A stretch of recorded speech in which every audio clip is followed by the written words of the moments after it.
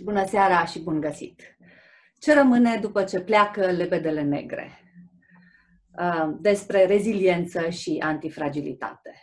Sună complicat, dar de fapt uh, vom vorbi cât putem de simplu și despre ce e vorba în seara asta. Păi despre reacția la catastrofe, despre capacitatea de a face față neașteptatului, despre puterea de a înțelege și de a exploata potențialul creator al crizelor, și invitații noștri sunt uh, Mihai Maci și uh, Ciprian Mihali.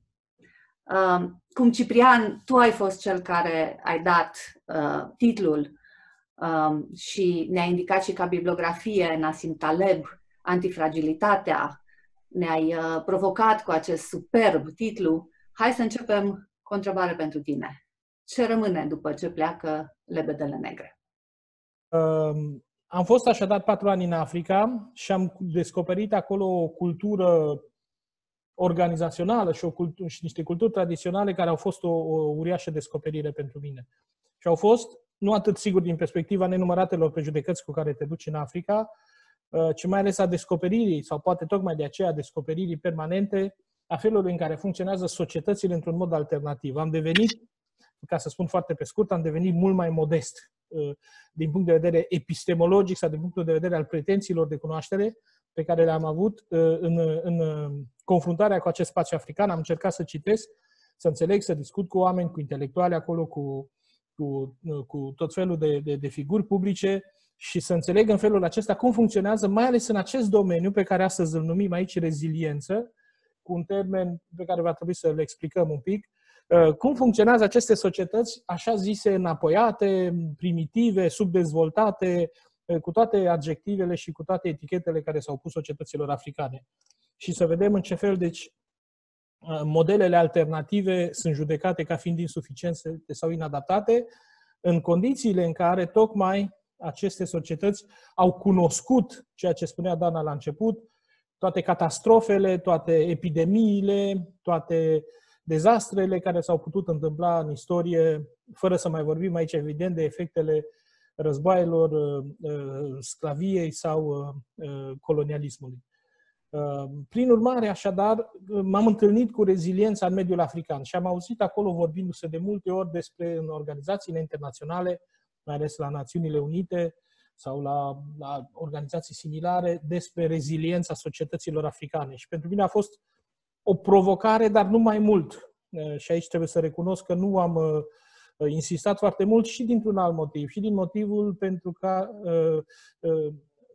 România nu era implicată sau nu a fost angajată, mă rog, ea nu este angajată între noi, fie vorba și între toți cei care ne vor mări vreodată, nu este angajată în această reflexie decât foarte, foarte slab și foarte punctual prin câteva, poate, figuri pe care, figuri intelectuale pe care le poate angaja, dar la nivel instituțional nu există, după cunoștințele mele, o reflexie din aceasta privind reziliența sau uh, situația societăților aflate în, în, în, în criză.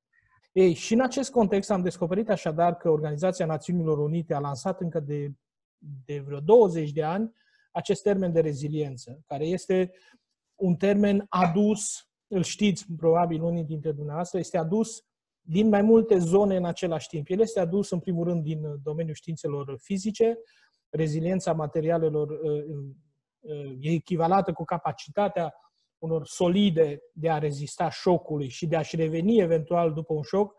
Uh, exemplul cel mai simplu pe care vi-l dau aici pentru reziliență este cel al arcului. Nu? Îl apăsăm, își revine, avem acolo o, o, o formă de rezistență la șoc a arcului care revine la poziția inițială dar în același timp avem reziliența într-un mod foarte interesant, apărând în niște mărturii ale călătorilor uh, uh, europeni în America, uh, la începutul secolului, în anii 30, unde vorbeau despre resiliency și nu resilience, așa cum este conceptul azi, ca fiind acest mod de viață al americanului care orice ar face este învingător. E mentalitatea învingătorului, este un Uh, o, o, o forță interioară care face pe american să fie uh, animat, însuflețit de, de, de spiritul învingătorului. Ei, uh, și sunt, sunt astfel de surse care, care converg cumva înspre ceea ce va deveni mai târziu un concept al rezilienței. Cealaltă sursă importantă uh, a rezilienței este uh, aceea care vine din uh, psihologie și psihiatrie, iar părintele rezilienței, unul dintre părinții, cel puțin cel european, este psihologul Boris Cyrulnik în Franța, care a scris o mulțime de cărți pe această temă, cu o psihologie, dacă unii dintre dumneavoastră ați făcut sau faceți psihologie, ă, știți probabil că Cyrulnik nu face unanimitatea printre psihologi. El are o... Așa cum ă, Baudrillard nu este sociolog, ă, nici Cyrulnik nu este întru totul psiholog. Adică este o psihologie apropiată uneori de eseistică, dar care nouă francofonilor ne place, pentru că e foarte narrativă și foarte pasionantă. Și toate acestea așadar converg, converg încet încet spre un concept al rezilienței, uh, care este elaborat în anii, uh, în anii 2000, cam în aceeași perioadă în care elaborează și Siriul Nic conceptul lui în psihologie. Uh, pentru Națiunile Unite, secretarul interinstituțional al Strategiei Internaționale de Prevenire a Catastrofelor din documente elaborat la Geneva în 2004, Reziliența unui sistem social este determinată de capacitatea acestui sistem de a se organiza uh, astfel încât uh, să fie mai capabil sau mai în stare să tragă învățămintele din catastrofele trecute pentru a se proteja mai bine și a reduce mai eficient riscurile. Deci, vedeți, sunt câțiva termeni care apar aici, uh, destul de, de pregnant.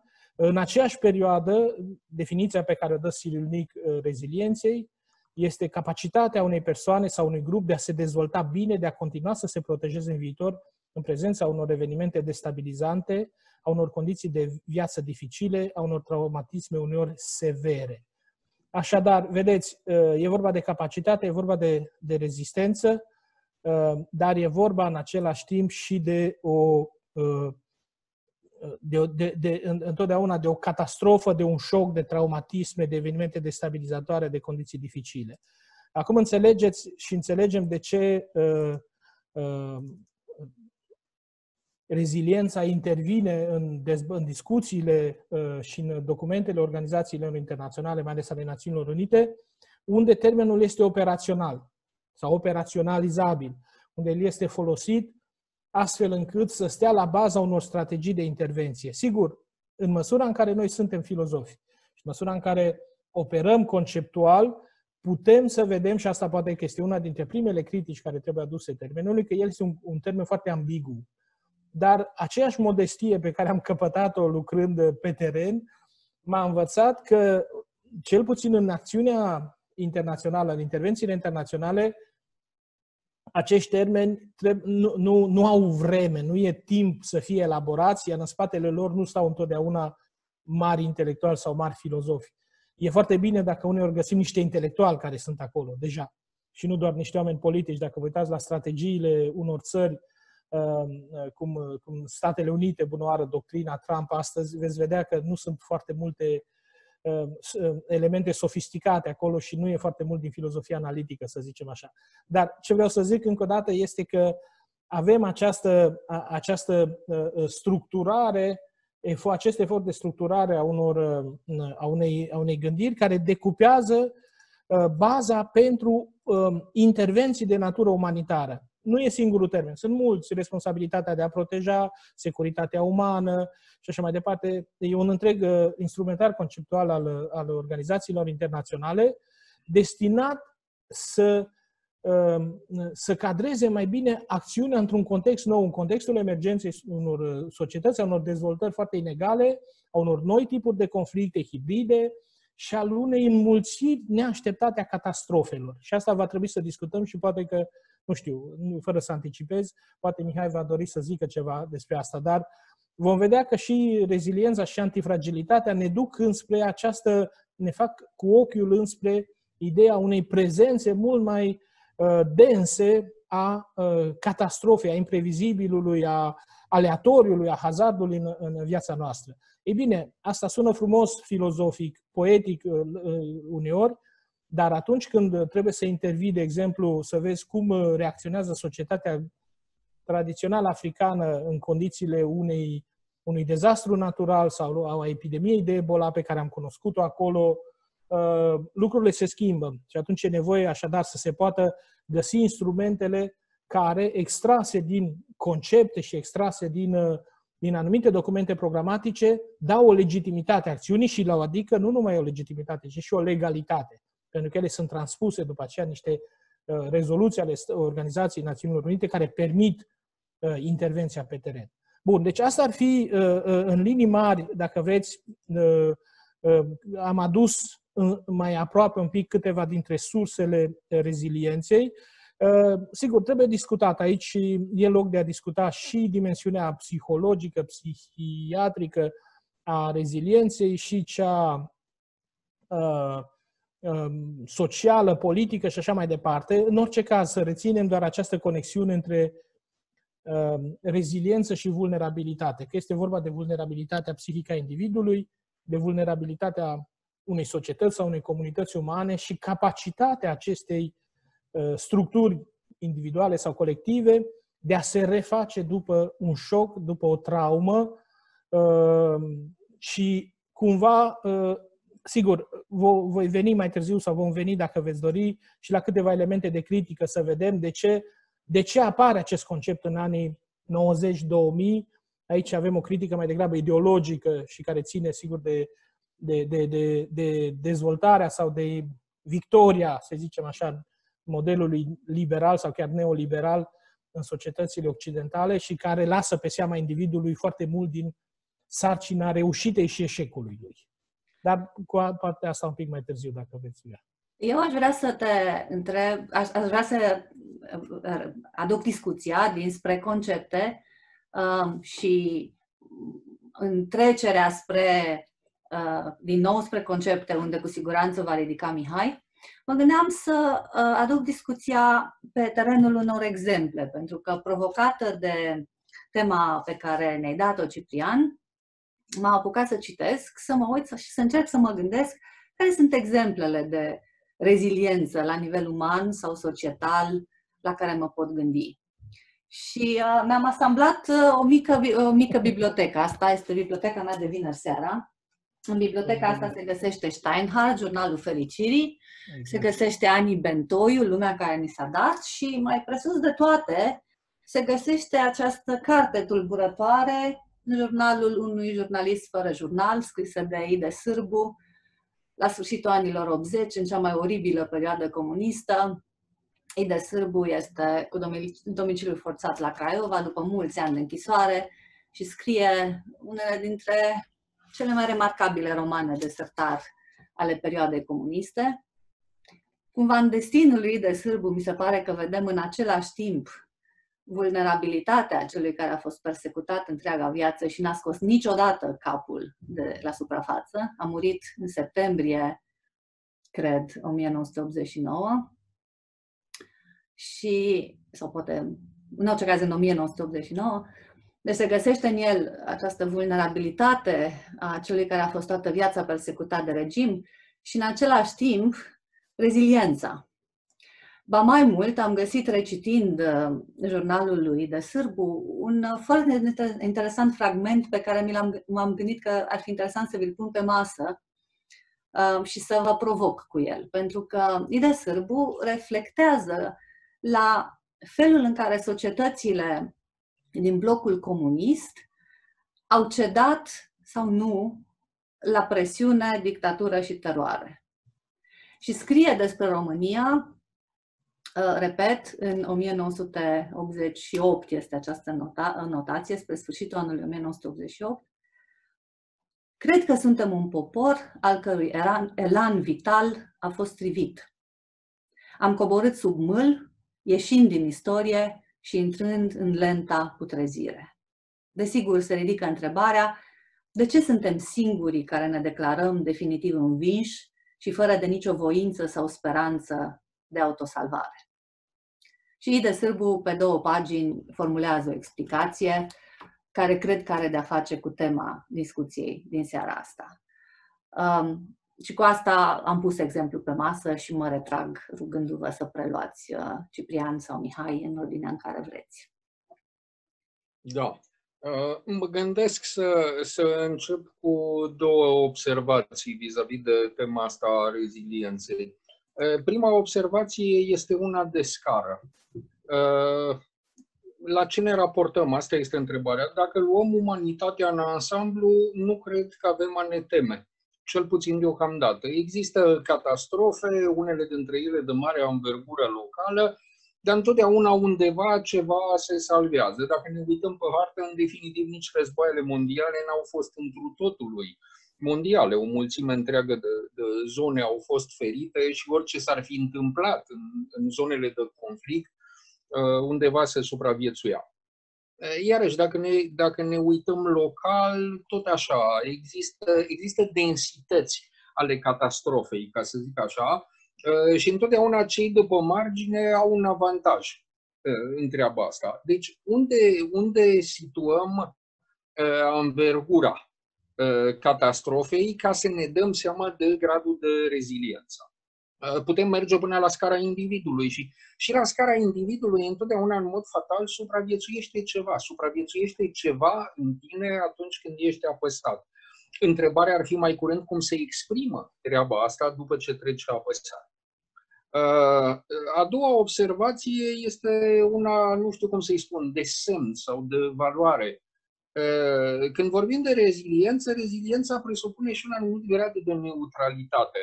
Uh, în exemplu pe care îl dădea Ciprian cu inițiativele ONU din Africa și așa, reziliența seamănă într-o anumită măsură cu selectarea caracterelor bune ale unei societăți. Trece catastrofa și după ce trece catastrofa, cele, cele rele s-au spălat și le adunăm pe cele bune.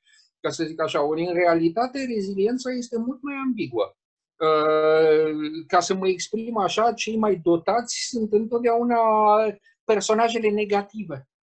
Ăștia traversează cel mai ușor.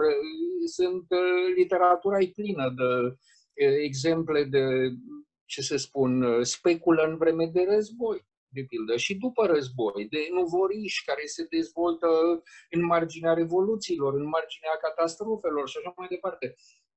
Și, în fine, o, o ultimă observație pe care aș vrea să o fac este asta, una de temporalitate a, a rezilienței. Gândiți-vă la următorul lucru. Prima generație de cei care supraviețuiesc unui război sau unui revoluții sunt genul ăsta, oportuniști, nuvoriși și așa mai departe a doua, a treia generație e o generație de Hanno Budenbrock, care preia toată moștenirea trecutului și o aduce la suprafață. Trei, trei probleme care, din punctul meu de vedere, fac reziliența destul de ambiguă. E, e foarte interesant ce spui, pentru că, uite, avem pe masă, deci, exemplele bune și exemplele rele de reziliență. Sau ambigue. Ambigue. Da, ambiguitatea e în miezul uh, acestui concept. Am, vă spun, am mai lucrat, s-a întâmplat uh, acum câțiva ani să lucrez pe niște teme ale dreptului internațional și ale uh, științelor politice aplicate relațiilor internaționale și de fiecare dată, la fiecare concept la care am ajuns, această ambiguitate era acolo.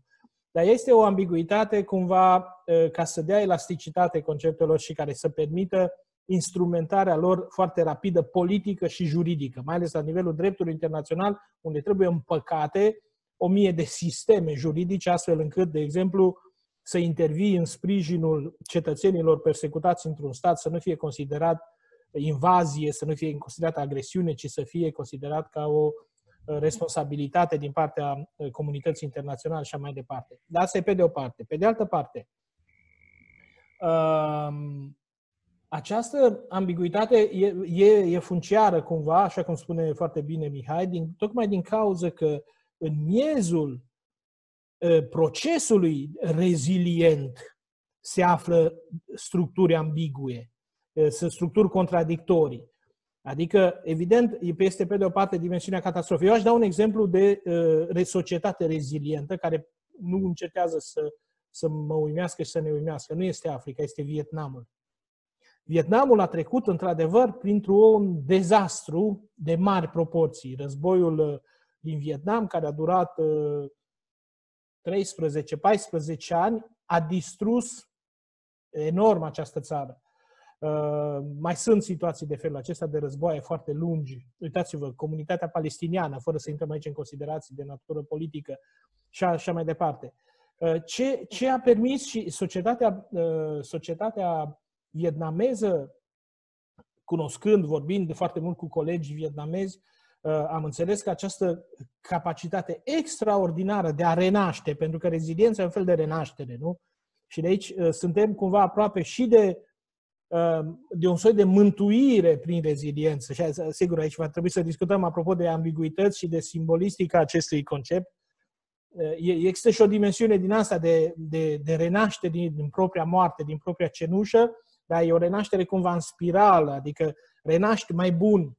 Cu asta vom ajunge poate mai încolo la antifragilitate. Renaști mai bun. Poporul vietnamez a făcut acest exercițiu de renaștere în urma unei traume uriașe. Cum e posibil această, această uh, uh, renaștere? La nivel social. După aceea, sigur că trebuie să venim și la exemplele individuale foarte bune pe care le-a dat Dana și care pot fi înmulțite. Văd că cineva a notat aici alte nume. Corneliu Coposu sau Evgenia Ginsburg. E foarte adevărat. La nivel social însă, sau la nivel comunitar, ceea ce dă forță rezilienței sau eficiență, să-i spun așa, ca zici forță înseamnă efectivitatea practică, este uh, solidaritatea în, valo- în valori sau comuniunea în valori. Faptul că o comunitate înțelege atunci când e cel mai jos la nivelul existenței sale colective, să se regăsească într-un set de valori. Puține poate, una poate, nu trebuie să fie o mie de valori împărtășite. Una să fie, dar acea valoare să-i țină pe oameni împreună. Ceea ce am găsit peste tot, atunci când reziliența nu este intervenția cu saci de făină sau de uh, orez ca să-i ajuți pe africanii flămânzi. Nu asta este reziliență. Reziliența este uh, capacitatea unui sistem complex, pentru că aici vorbim de complexitate, capacitatea unui sistem complex de a depăși o situație traumatică, ori de care ar fi dezastruoasă, catastrofală, cu intensități care pot să fie obiective sau subiective. Nu? Sunt societăți care au, au clacat pentru mai puțin decât uh, societatea uh, vietnameză, să zi, de, ca să dau același exemplu. Ei bine, comunitățile locale uh, în Vietnam au lucrat cu o forță în jurul acelor, acelor valori care îi țin pe vietnamezi împreună de mii de ani astfel încât trauma aceasta să poată fi depășită într-un mod pozitiv până la punctul la care a dispărut orice urmă de resentiment față de americani. Și asta e, nu mai vorbesc, a dispărut și față de francezi. E unul dintre puținele popoare colonizate de francezi care nu urăsc francezii. Este foarte interesant. Uitați-vă, de exemplu, în ce fel nu ne-am lămurit noi povestea cu ungurii, ca să o luăm într-un într-un, într-un spațiu poate ușor mai, mai, mai hazliu. Dar uh, uh, reziliența este nu numai capacitatea de, a, de a-ți reconstrui casa după ce a fost arsă, ci și a te repune în relații umane care să salveze umanitatea din tine, care să nu te transforme în bestia aceea care prădează sau jefuiește sau așa mai departe. Și aici, într-adevăr, dacă la nivel individual reziliența poate să fie și supraviețuirea Uh, acelora dintre indivizi care au mai degrabă comportamente, să spun, de șobolan sau de scorpion, animale care rezistă marilor dezastre, la nivel comunitar e nevoie de, de agregarea în jurul la ceva pozitiv sau în jurul la ceva care construiește, nu care distruge. Uh, solidaritatea în jaf este limitată. Uh, solidaritatea în construcție este poate mai puțin spectaculoasă, dar este mai durabilă. Și asta cumva dă uh, forță rezilienței și o face să funcționeze în anumite tipuri de societăți. Și cu, închei cu un ultim exemplu, pentru că uh, l-am pomenit și poate că de acolo s-a aprins scânteia discuției între, între mine și Dana. Am scris la un moment dat un text uh, pentru presă în care am vorbit despre reziliență aproape între, întreagăt și am dat exemplul de reziliență fie al societăților non-industrializate, Uh, fie al societăților hiperindustrializate. Sigur, ideea de văzut acești termeni. Deci societățile tradiționale, societatea vietnameză, societățile africane, care supraviețuiesc dezastrelor, sau societățile care au interiorizat foarte bine regulile. Societățile scandinave sau societatea germană, de exemplu. Aici luăm germani. Nu pentru că dispun de o aparatură tehnică și de 10.000 de paturi sau de 25.000 de paturi, ci pentru că există, cum să vă spun, o conștiință a valorii comune, o conștiință a solidarității interiorizată care funcționează organic și care permite ca în situație de reflux sau de criză să se înșurubeze, să foreze în sine și să scoadă de acolo capacități nebănuite sau suplimentare și care să permită o construcție, cum să spun, oarecum pozitivă, organică, non-resentimentară. Și mă opresc cu asta aici. Revenim, hai să, încercăm să luăm întrebarea atunci, întrebarea directă, um, ce e nevoie? Ce anume um, face ca o societate sau un individ să fie mai rezilient decât altul? Avem o întrebare de la, uh, de la Simona Nicolae care ne spune vorbiți de un concept foarte creștin. Mihai? Dacă pot să dau, să dau un răspuns întrebării astea. Mi-aduc aminte că la Țvedan Todorov, la un moment dat, în cartea despre comunism, povestea o experiență din asta atroce a cuiva similară Piteștiului de la noi și făcea o observație, din punctul meu, extrem de interesantă. Spunea, da, s-a obținut acolo ceva foarte greu de gândit, Uh, și anume destructurarea relației dintre oameni. Dar uitați-vă la un lucru, asta este observația lui Svedan Todorov. Ca să realizezi această chestie atât de banală, e nevoie de întreaga presiune a statului asupra relației dintre doi oameni. Uh, orice vreau să spun cu, cu treaba asta, ca să ajungi în situația catastrofică în care nu se mai poate face nimic, e nevoie de o presiune colosală și de lungă durată. De ori asta, în general, nu se întâmplă. În general, fie presiunea e colosală, dar de scurtă durată, fie de mai lungă durată, dar scade în intensitate. Și atunci fiecare societate, după posibilitățile ei, își revine. Uh, într-adevăr, o societate care este preindustrială are mai multe avantaje. Uh, societatea aia se poate retrage în ea însăși. Uh, există modalități, există strategii de refuz a modernității și, cum să spun eu, lucrurile astea au și partea lor bună, au și partea lor rea, au și partea lor bună. Mie aici îmi vine ca în minte întotdeauna exemplul României. De pildă, de ce în România nu apare imperativul inovării? De ce în România nu suntem puși în situația de a produce altceva? Pentru că nu suntem puși, pentru că n-am ajuns la limita aia în care să vin cu spatele la zid.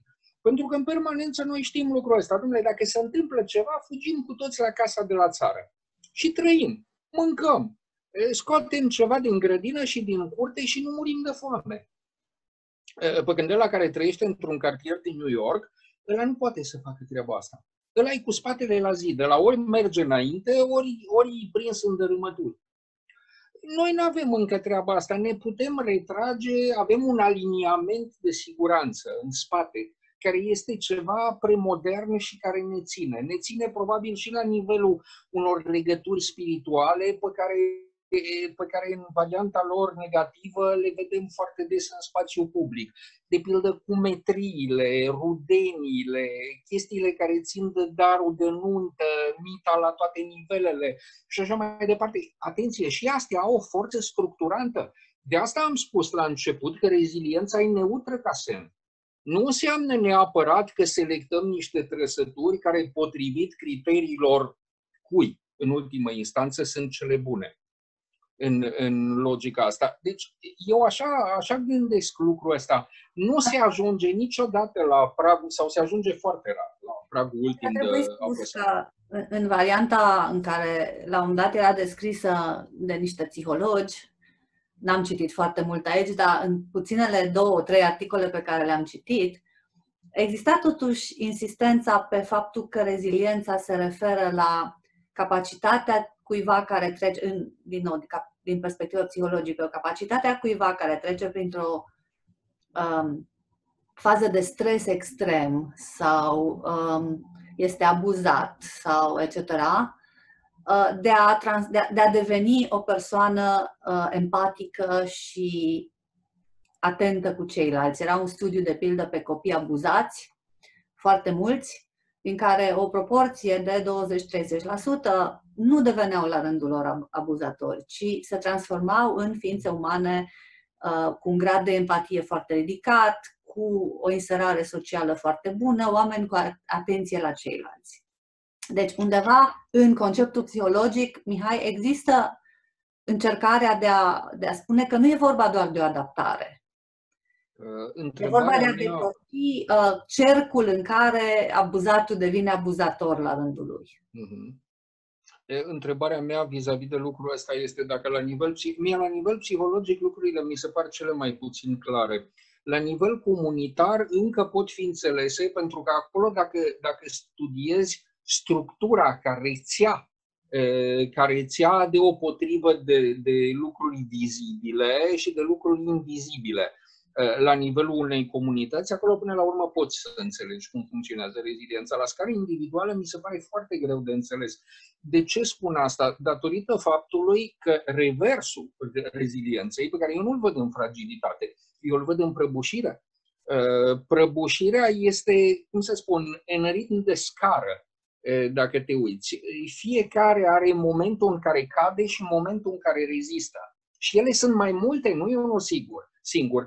Ca atare, e foarte greu să-mi dau seama unde s-a oprit cineva în acest parcurs, cel puțin atâta timp cât eu vorbesc ca unul din exterior, ca unul care n-a trecut prin așa ceva, care să aibă ex- experiența.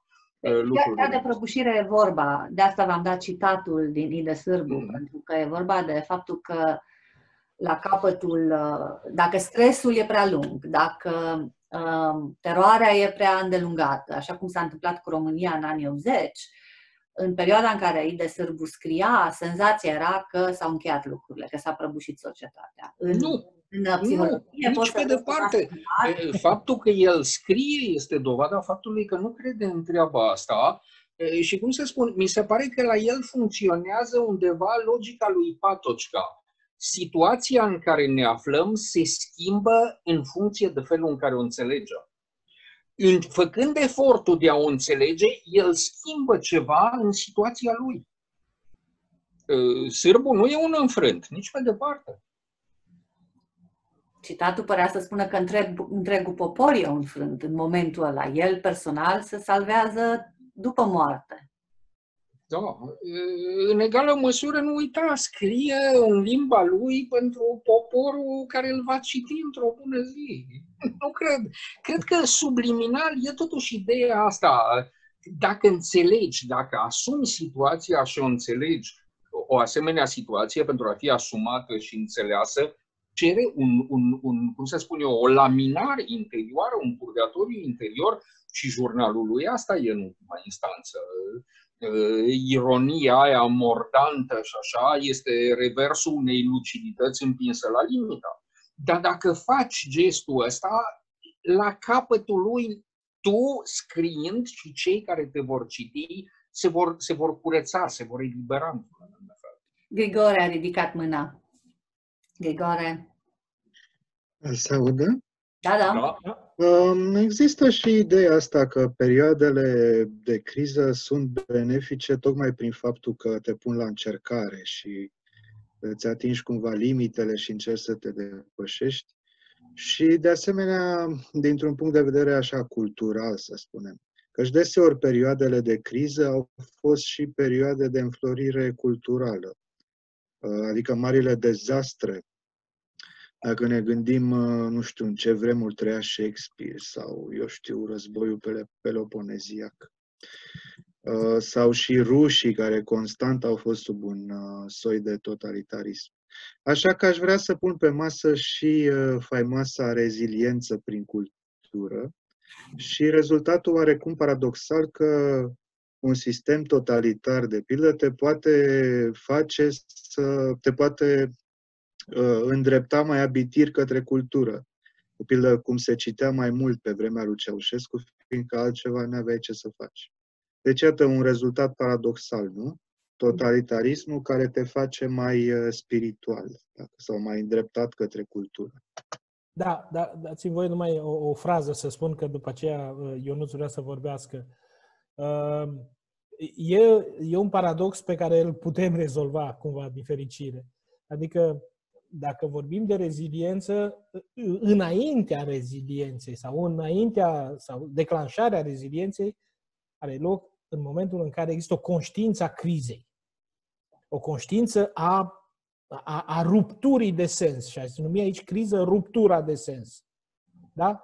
Uh, ea se poate produce acum. Noi luăm totalitarismul ca o experiență emblematică ea nu este neapărat, nu este și una necesară și nu este neapărat, adică nu există o, un principiu al vaselor comunicante între creație în timp de totalitarism și slabă creație după.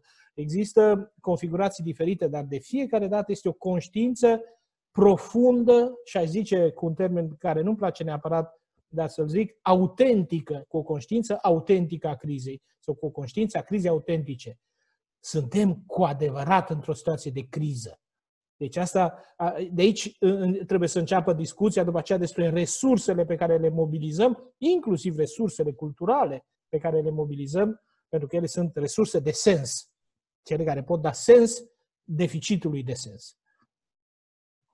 Ionuț. Uh, dacă, dacă pot să da. intervin uh, vis-a-vis de lucrurile astea, foarte interesantă și observația domnului Vida și observația lui Ciprian vis-a-vis de lucrurile astea. La observația domnului Vida aș spune ceva vis-a-vis de treaba asta. Cel puțin din punct de vedere tehnologic, o criză e o mană cerească. Uitați-vă la cele două războaie mondiale. Sunt perioade de accelerare tehnologică incredibilă. Noi suntem în ziua de astăzi moștenitorii invențiilor din perioadele respective, din toate punctele de vedere. La treaba asta pe care a spus-o Ciprian cu, cu conștiința crizei, iarăși aș vrea să fac o obiecție tocmai de lipsa asta de, semn, de semn de care, de care vorbeam mai înainte. Dacă această conștiință a crizei se exprimă, de pildă, într-o magistratură a crizei, dictatura, sau într-o altă magistratură a crizei, intervenția umanitară, ambele sunt caracterizate de un lucru care mi se pare foarte important concentrarea resurselor și a deciziei într-un singur punct care, care, care implementează până în ultimul loc lucrurile. Și în felul ăsta se suprimă acel ceva pe care cu toții îl criticăm în permanență, și anume dezbaterea politică, ambiguitățile democrației și așa mai departe. Toate chestiile astea care disipează într-un anume sens Uh, cum să spun eu, difuziune a lucrurilor de care avem nevoie, dar atenție, disipează și primejdia forței concentrate într-un singur loc. Just, just. Ionuț. Uh, trebuie să dai drumul la microfon. Stai că fac eu asta. Ok. Uh, mulțumesc. Vroiam să, se aude? Da, da, se aude. Da, se aude. Să încerc să propun un răspuns la întrebarea ce ne face să fim rezilienți. La nivel individual, sunt convins că este nevoie și de o anumită structură a psihicului. Trebuie să ai un uh, spațiu, un psihic în care să te poți retrage, să te poți reconfigura, uh, dar cred că e vorba și de o anumită atitudine Uh, să nu te agăți de ceea ce ți se întâmplă, să nu încerci să faci un monument din lucrurile care, uh, din lucrurile rele care ți s-au întâmplat. Deci e vorba, pe, uh, pe de-o parte, de o calitate, de o înzestrare pe care unii o au sau nu au, dar cred că este vorba și de o atitudine care se poate învăța, se poate exersa, aceea de a nu te agăța de, de lucrurile rele care ți se întâmplă și asta îți dă posibilitatea să, te reconfigurezi chiar dacă nu ai calitatea aceea interioară. Așa e, așa e. Deci, Avem o întrebare de la Diana. Sau luare de poziție. Ok, deci mă auziți? Da, da, ok, bună seara tuturor. Bună seara tuturor, vă mulțumesc. Deci eu cred că uh, retragerea sau fuga pe termen lung uh, dăunează rezilienței. Poți să fugi pe termen scurt pentru că n-ai ce face, da? Ți se dărâmă în cap uh, turnurile gemene, să zicem, trebuie să fugi, da? Dar după aia trebuie să integrezi acel rău și să-l transformi într-o chestie mai bună pe viitor, să înveți din el, da? Asta este reziliența, da? Nu acea fugă, zicea cineva aici pe ce apa trece, pietrele rămân, eu zic că apa trece și pietrele rămân cât mai, tot mai erodate așa, da? mai trece o apă, se mai erodează puțin, nu mai rămâne nimic din piatra aia. Da. În urmă, dacă nu înfrunți rău respectiv și nu ți-l integrezi și nu trăiești cu el, în sensul că îl transformi într-o, într-un lucru mai bun și faci din el, cum zicea Balzac, scară la caleașcă, nu faci nimic, nu ești rezilient. Da. Asta am vrut să spun. Mulțumesc mult! Mulțumim. Uh, unde intră cartea lui Taleb despre antifragilitate în povestea asta? Ajungem, ajungem și la ea, pentru că mi-e și frică de Taleb. Uh, așa arată una dintre cărți. Mă rog, uh, sunt uh, câte pagini aici? 600 de pagini. Asta e numai uh, uh, lebăda. Pardon, nu lebăda. Uh, ba da, lebăda neagră. Da, lebăda neagră. Da. Dar uh, am mai vrut să spun un lucru despre reziliență. Uh, am citit tot, căutând și eu articole, și eu sunt cu o bibliotecă improvizată, o mare parte din biblioteca mea e la Cluj, uh, aici mi-am constituit o bibliotecă de când am ajuns, mi-am adus cărți de la Cluj, am dus unele, acum sunt, am multe în versiune electronică, antifragilitate am în versiune electronică, uh, e un spațiu din ăsta așa haotic. Dar am citit un articol foarte interesant despre experiențele lui Cyril Nick. Cyril Nick este un psiholog mediatic, din aceea pe care mulți dintre noi detestăm, aceia care fac milioane de like-uri din postări, cum am zice azi. Da? Ehm, dar el a făcut totuși un lucru extraordinar. Ehm, a publicat o trilogie urmată de alte cărți, evident, pentru că odată ce încep să scrii, ehm, tentația și, și presiunea notorietății este foarte mare. În momentul în care el a lansat acest concept, în acest concept de reziliență în cărțile lui, a început să primească scrisori de la oameni. Și oamenii au spus în toată naivitatea lor simplă, vă mulțumim, nu am știut cum să spun răului din mine și nu am știut, stării de rău, nu răului în sens moral, stării de rău, malez, așa? Și nu am știut cum să ies din asta. I-ați dat un nume. I-ați dat un nume, spune. Și uh, mi-am dat seama că reziliența este, din acest punct de vedere și la nivel individual, și o capacitate de a numi corect lucrurile. Suntem în situație de criză, sau e o criză, e un traumatism, un dezastru, o moarte. Moartea cuiva drag este o traumă de felul acesta. Doliul, travaliul de doliu este, în acest, din acest punct de vedere, tot un, o, un efort de reziliență pentru că e tot un efort de renumire și de renumire a realității, nu? Realitatea se schimbă. E ceva care s-a întâmplat, care n-a avut sens și care... De ce? De ce mi s-a întâmplat asta mie? De ce am pățit eu asta? Uh, toate acestea sunt, uh, sunt efecte deci, ale, unei, uh, um, ale unei interogații despre reziliență. Și um, el a publicat în una dintre cărțile lui, anonimizând, nu știu, câteva zeci de scrisori ale unor uh, cititori uh, care au vorbit despre diferitele fațete ale rezilienței, dar de fiecare dată, și asta este interesant și cu asta poate chiar aș vrea să, la un moment dat, să, să poate să și depășim acest uh, uh termen al rezilienței, uh, există și critici, există și analize mult mai riguroase ale rezilienței făcute Uh, fie de antropologi, fie de, um, de chiar de filozofi. Și ei spun așa, reziliența este un joc de limbaj. Pentru că este felul în care, la un moment dat, noi dăm socoteală în cuvinte despre o formă de viață. O formă de viață necunoscută, neașteptată, chiar nedorită, dar care intervine, uh, cum să, e felul în care renumim răul Le mal et le malheur, răul și nefericirea sau nenorocirea. Da? Apoi, uh, apropo de ce ziceam adineauri uh, uh, relativ la, la, la vietnamezi sau la comunitățile uh, tradiționale. Reziliența, ca mod de a da sens, ca modalitate de a da sens la ceea ce se întâmplă, poate fi considerat și o resursă culturală.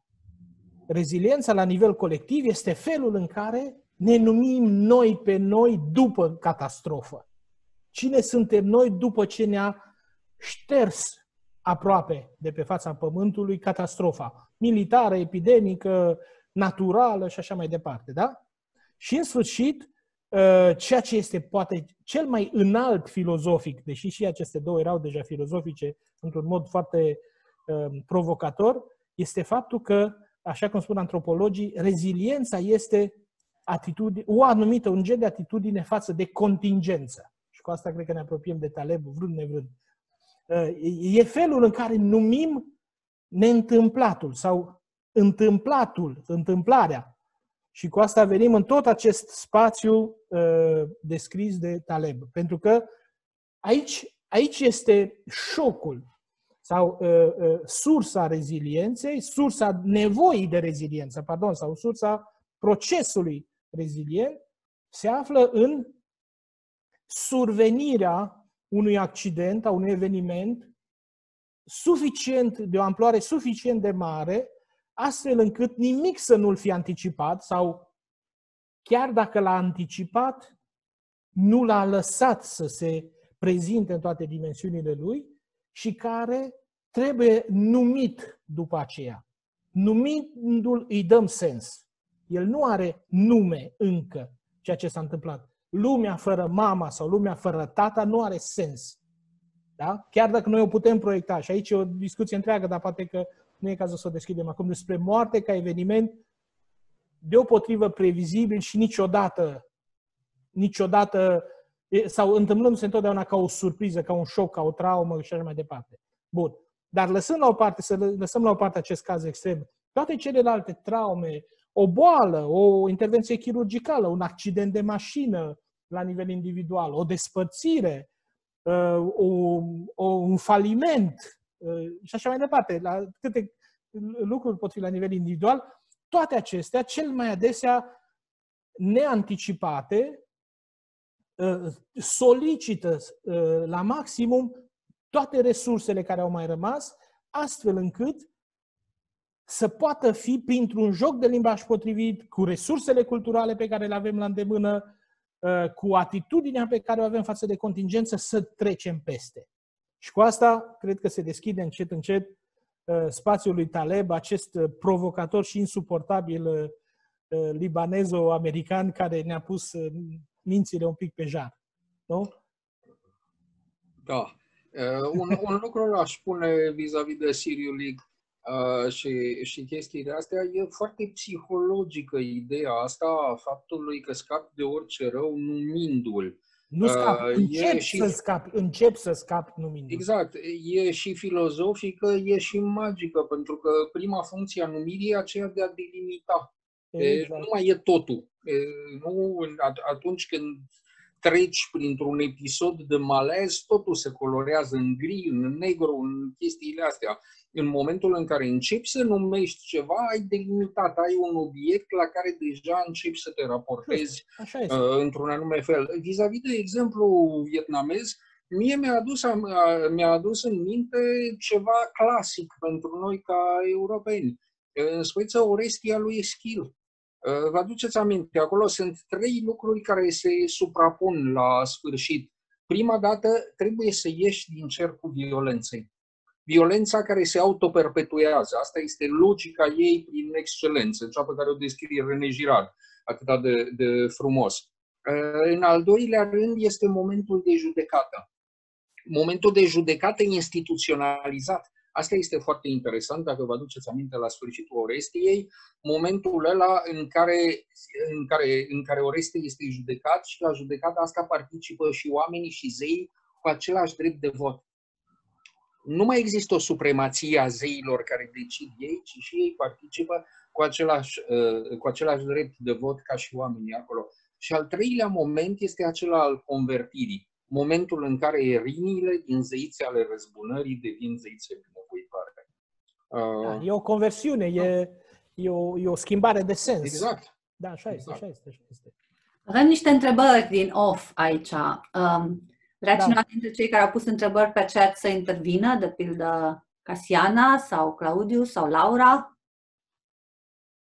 Haideți să dați chip întrebărilor. O, aș putea, Numiți-le! nu știu dacă se aude, se aude? Aude foarte bine. Ah, bună seara. Um, mai degrabă aș avea o mică remarcă, cum că toată discuția de până acum despre căutarea sensului seamănă um, destul de mult cu ce am citit eu legat de Viktor Frankl. Uh, și Viktor Frankl fiind uh, un psiholog fondator al așa numitei logoterapii, uh, terapia prin căutarea sensului după o, după o situație traumatică. Uh, seamănă destul de mult cu ce povestește el în, că, în cartea lui uh, Căutarea de sens a omului. Victor este un supraviețuitor al lagărelor naziste, Mhm. în care el practic a trecut prin ce discutăm noi aici la nivel teoretic. Exact, Și exact. mi se pare o, un match de 100% între ce discutăm aici la nivel teoretic și prin ce a trecut el uh, aplicat, ca să-i spun așa. Așa este, așa este. Deci, uh, atât am vrut să spun, poate pe cineva interesează cartea. Da, mărturiile, de altfel, unele dintre cărțile despre reziliență se deschid cu uh, fragmente din supraviețuitorii uh, Holocaustului. Primo Levi, chiar aveam un citat din Primo Levi aici. Uh, evident, trauma absolută la nivel individual și colectiv uh, uh, în secolul 20 este asta. Și știm bine că vreme de foarte mulți ani, supraviețuitorii uh, uh, Holocaustului nu au putut numi experiența prin care au trăit. A existat un blocaj care nu este comandat nici politic, nici altfel. A existat un blocaj la nivelul conștiinței individuale sau la nivelul psihicului individual și colectiv care a interzis traumei să se exprime. Ea a fost atât de violentă încât nu și-a putut găsi cuvintele potrivite. A durat, au fost foarte puțini cei care au vorbit imediat după Holocaust, mărturiile apar 10-15 ani după aceea. E foarte interesant uh, felul în care uh, uh, uh, absolutul traumei, radicalitatea traumei, de fapt e tot una cu uh, absența de cuvânt, absența de posibilitatea numirii ei. Și da, logoterapiile, uh, felul în care o spuneți aici, sigur, ne aducem aminte din uh, cursurile noastre de la facultate despre psihanaliză, din cursurile de filozofia limbajului, despre felul în care psihanaliza devine terapie prin cuvânt. Nu? De, pe micul, micul vicleșug al lui Freud, prin care mută dinspre dușurile reci uh, și electroșocuri, vindecarea pe cuvânt, care e și mai bănoasă de altfel decât... Dar bun, asta este altceva. Um, O problemă de reziliență, în ultimă instanță, a A psihologilor. psihologului. cred că Laura... Dar totuși aș mai avea o mică remarcă aici, că tot vorbeam la început, uh, vorbeați despre modul în care societățile trec printr-o situație traumatică prin uh, adunarea în jurul unor, unor valori sau a unei valori cel puțin. Uh, Mi-amintesc că Victor Frankl face remarca destul de, nu știu cum să-i spun, tristă la începutul cărții, cum că ei cam își dau seama că nu cei mai morali sau cei mai buni dintre ei au supraviețuit Holocaustului, pentru că tocmai era nevoie să renunți la partea morală din tine pur și simplu ca să supraviețuiești prin experiența în sine. Dar e interesant cum manifestau acest tip de reziliență după, în ideea că erau, ei, ei erau conștienți de faptul că au făcut ceva ce nu ar fi vrut neapărat să facă. Și reveneau cum își dădeau un fel de reset la perioada pre-nazistă, într-un fel. Cel puțin așa au perceput ei. Așa este adevărat. E adevărat. Aș mai zice numai o singură frază și după aceea las. Nu orice supraviețuire înseamnă reziliență. Asta ca să complic lucrurile. Uh, Dar văd că mai sunt întrebări. Dana, dacă... Da, mă gândeam că și dacă, nu, nu doar că nu orice supraviețuire înseamnă reziliență, dar încep să văd nevoia conceptului de antifragilitate. Da, eu m-am, uh, cel, nu știu, Mihai, dacă tu ai ajuns uh, nu, să te n-am lupți... citit cartea cu antifragilitatea, doar cea cu lebă, da. A, e bine că ai citit-o pe cea cu Leber, dar asta mă mai salvează că mă simțeam și sper și sunt convins că unii dintre noastre ați citit-o. E o carte destul de veche, deja are vreo 13 ani și cu asta m-am întâlnit întâmplător, uh, aproape întâmplător și Taleb e un autor, cum spune Dana, e un autor seducător și enervant. E, în sfârșit, n-aș vrea să, să, să, să fac comparații aici, dar are ceva și l-am urmărit și în intervenții video, audio, de o vreme de când mi-a propus Dana acest exercițiu, am, m-am îmbăiat așa, m-am scufundat un pic în, în gândirea lui Taleb și găsesc acest, dezvoltarea acestui gen de gândire în ultimele decenii cu care noi, filozofii riguroși, care am fost, nu știu dacă mai suntem, dacă am mai rămas, dacă nu s-a tocit rigoarea, cel puțin unora, pentru noi era iritant acest fel și dacă eram la universitate și trebuia să-mi predau cursurile de filozofie contemporană, eu și motivul pentru care Taleb scriind pe la 2007-2008 nu am auzit și cred că dacă aș fi predat în continuare la facultate, doar întâmplarea ar fi făcut să aud de el și probabil că l-aș fi disprețuit în continuare din perspectiva Derrida, Heidegger, Wittgenstein, Husserl, Nietzsche și așa mai departe. Ce vreau să spun este, da, că nu este un autor, știți, l-ați citit, este un autor plăcut, este un, un eseist care joacă foarte bine între referințe savante pe care de multe ori le abuzează, nu? Uh, clasiciștii știu, și experiențe concrete, cum mănâncă el la restaurant, cum uh, se întâlnește cu prieteni uh, simpatici sau enervanți și așa mai departe. Ori noi știm asta, nici eu, cel puțin nici Mihai, pe care îl cunosc, cu atât mai puțin Dana, care face gândire clasică, n-am îndrăznit să scriem în textele noastre despre cum mâncăm noi la restaurant, la Oradea, la Cluj sau la, la, la București. Uh, deci eu, e un uh, amestec din ăsta. Dana s-a mai enervat odată într-un articol, dar pe alte motive împotriva lui Harari, care este tot așa un uh, one-man show.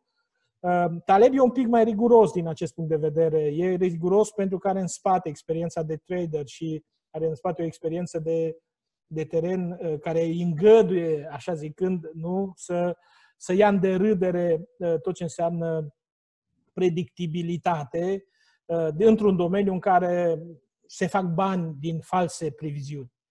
Bun. Uh, ăsta este Taleb, uh, l-am urmărit, l-am ascultat, i-am, am citit pe sărite, văd că Dan a ajuns, a dat citate de la pagina 200 și ceva. Asta e de pomenit, eu n-am ajuns până acolo, mai ales pe 680 de pagini notez. Aoleu. dat de lucru. Da, da, da. Vreau să-l citesc, îmi place, are, are, are frazări foarte, foarte interesante. Îmi place foarte mult și la el se ajunge, trecând de asta, la el am ajuns cumva printr-un demers regresiv. Adică am plecat de la reziliență spre antifragilitate și am fost, mărturisesc că am fost uh, provocat în această comparație de o remarcă a cuiva care a spus noi, după această criză, noi nu trebuie să fim rezilienți, noi trebuie să fim antifragili. Și am citit postarea, acea notă, am citit-o undeva, eram pe drum. Și zic, știu de undeva cuvântul ăsta, l-am mai întâlnit, antifragil l-am întâlnit undeva, nu știam unde, l-am întâlnit. Evident, l-am găsit, m-am dus pe surse și așa am ajuns din nou la Taleb, aveam, aveam cărțile, cel puțin o parte dintre ele. E un demers regresiv inevitabil, pentru că uh, pentru a te putea apropia de antifragil, trebuie să te întorci la lebăda neagră. Și trebuie să te întorci la această carte care l-a consacrat, de fapt, și care este, după părerea mea, una dintre cele mai bune contribuții în teoria hazardului. Și cred că Mihai poate să fie și mai riguros aici, uh, pentru că a citit cartea și pentru că poate situa mai bine în gândirea contemporană. Cred că există o tendință întreagă. Eu am întâlnit-o cu unele rădăcini uh, uh, foarte sănătoase și foarte nobile, dacă pot spune așa, la Nietzsche. De fiecare dată am, am un, ca un melodie de fond. De fiecare dată când îl citesc pe Taleb, mai ales în, în și în amândouă cărțile, și în Lebăda Neagră, și în, um, și în Antifragilitate, îl aud pe Nietzsche în fundal. Nu știu cât de bine știe Taleb Nietzsche, nu știu cât l-a citit, cum l-a citit, dar sursa acestei gândiri este în Nietzsche. acest amorfati de care el, pe care el îl diluează aici într-o supă foarte colorată, dar și această iubire a hazardului și a, a face din hazard destinul tău, așa cum îl găsim în știința voioasă și în alte cărți ale lui Nietzsche, cred că toate astea au inspirat niște moduri de gândire care au venit și s-au dezvoltat în secolul 20 într-un fel, în, în mai multe feluri. S-au dezvoltat, pe de o parte, într-un anumit gen de filozofie. Uh, teoriile excesului, Bataille, Blanchot, uh, în teatrul lui Artaud și așa mai departe, uh, toate această, acest dezechilibru, această forță a haosului, această frumusețe a haosului care e sursă de inspirație și care duce, evident, la creație și produce actul artistic prin excelență. Pe de altă parte, am găsit, iarăși, inspirația mea favorită la, la Deleuze, în teoriile lui, în felul în care Deleuze, cel puțin în o mie de platouri, recuperează elemente și din biologie și din fizică, și mai ales din fizica sau din teoriile matematico-fizice ale fractalilor. Și nu este o întâmplare că și Deleuze, dacă nu mă înșel, și Taleb, cu siguranță, îl au ca unul dintre mentorii lor pe uh, Benoît Mandelbrot, care este părintele uh, gândirii fractale. Aici ar trebui lăsați matematicienii să vorbească și fizicienii care probabil că au studiat fenomenul fractalilor. Fapt este că mi se pare a fi teoria cea mai accesibilă în orice caz nouă profanilor pentru a înțelege felul în care funcționează haosul. Felul în care poate fi gândit haosul fără ca el să fie constrâns, haosul și hazardul, fără ca el să fie constrâns și redus la forme de ordine sau la forme de cauzalitate uh, uh, mecanică sau așa cum o găsim poate în filozofia așa. Fractalii nu au nimic fortuit, nu zic că au ceva fortuit. Și aici o să o las pe Simona Nicolae să intervină, că n-aș vrea să spun mari prostii eu despre asta. Sper să spun numai mici prostii. Oricum, uh, uh, ajungând, da, sunt algoritmi, dar sunt algoritmi cu dimensiuni subdivizionare. Am zis bine, Simona? Simona Nicolae, ajută-ne. Simona Nicolae. Așa, am găsit microfonul. Nu sunt matematician, sunt clasicist, deci habar nu am uh, teoria fractalilor. Am însă un fiu matematician care o studiază atâta tot. Uh, știu însă că sunt uh, extrem de bine și de corect și determinabil. Sunt foarte previzibili și se dezvoltă doar pe baza unui algoritm, deci nu au absolut nimic care să țină de întâmplător.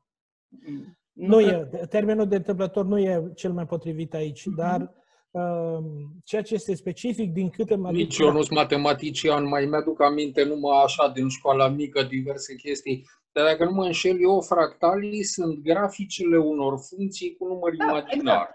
Exact. Deci sunt, cu... se dezvoltă după o funcție algebrică. Exact. Da, da, da, da, da, da, da.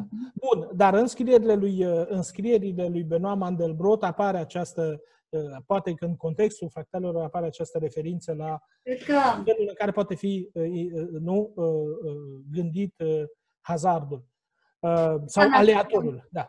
Cred că analogia cu fractale s-ar potrivi mai curând nu hazardului, ci felul în care pentru um, Taleb stresorii, factorii de stres, exact. catastrofele, uh, au întotdeauna o constrângerile pe care ei le impun, pe care stresorii impun, au, au un factor creativ. Atunci când întâlnesc o calitate specială. Uh, povestea asta, din câte am înțeles eu, doar până la pagina 200 și cât am dat citatul ăla, că până acolo am ajuns astăzi, dar povestea asta înțeleg că e așa uh, și se leagă bine de ce am discutat noi. Noi am văzut că reziliența are ceva de a face, dar e destul de ambigu ce, cu uh, rezistența la presiune, cu rezistența la factori de stres, la crize, la catastrofe, la o, o mare presiune care se exercită asupra individului sau asupra societății. Și am văzut că, că nu-i doar atât, ba mai mult, și era foarte bun exemplu ăla și poate de acolo ar trebui să pornim, că există supraviețuitori și oameni care au rezistat, să zicem, uh, ororilor închisorilor, fie naziste, fie comuniste. Și ăștia s-ar împărți în două categorii. Cei care au rezistat sunt oameni întregi, dar nu pot să vorbească despre asta. Nu vor să vorbească despre asta. Și cei care fac din povestea vieții lor un izvor de înțelepciune și de cunoaștere pentru ceilalți. Um, și reușesc să pună pe hârtie și reușesc să, facă, să, să devină creatori în raport cu propriile lor traume. Cred că despre asta e vorba în antifragilitate. Este vorba, uh, ce, ce spune Taleb este că uh, ar trebui să avem un opus al, al fragilității uh, și că opusul fragilității nu este robustețea sau uh, tăria, ci este această capacitate de a transforma dezastrul într-o creație, de a crește în urma dezastrului. Uh, Ionuț are un uh, întreg comentariu. Ionuț, dacă Foarte vrei. bun. Ionuț, te rog să-l, măcar să-l citești, dacă... să rămână posterității. În lectura autorului. În lectura autorului, da.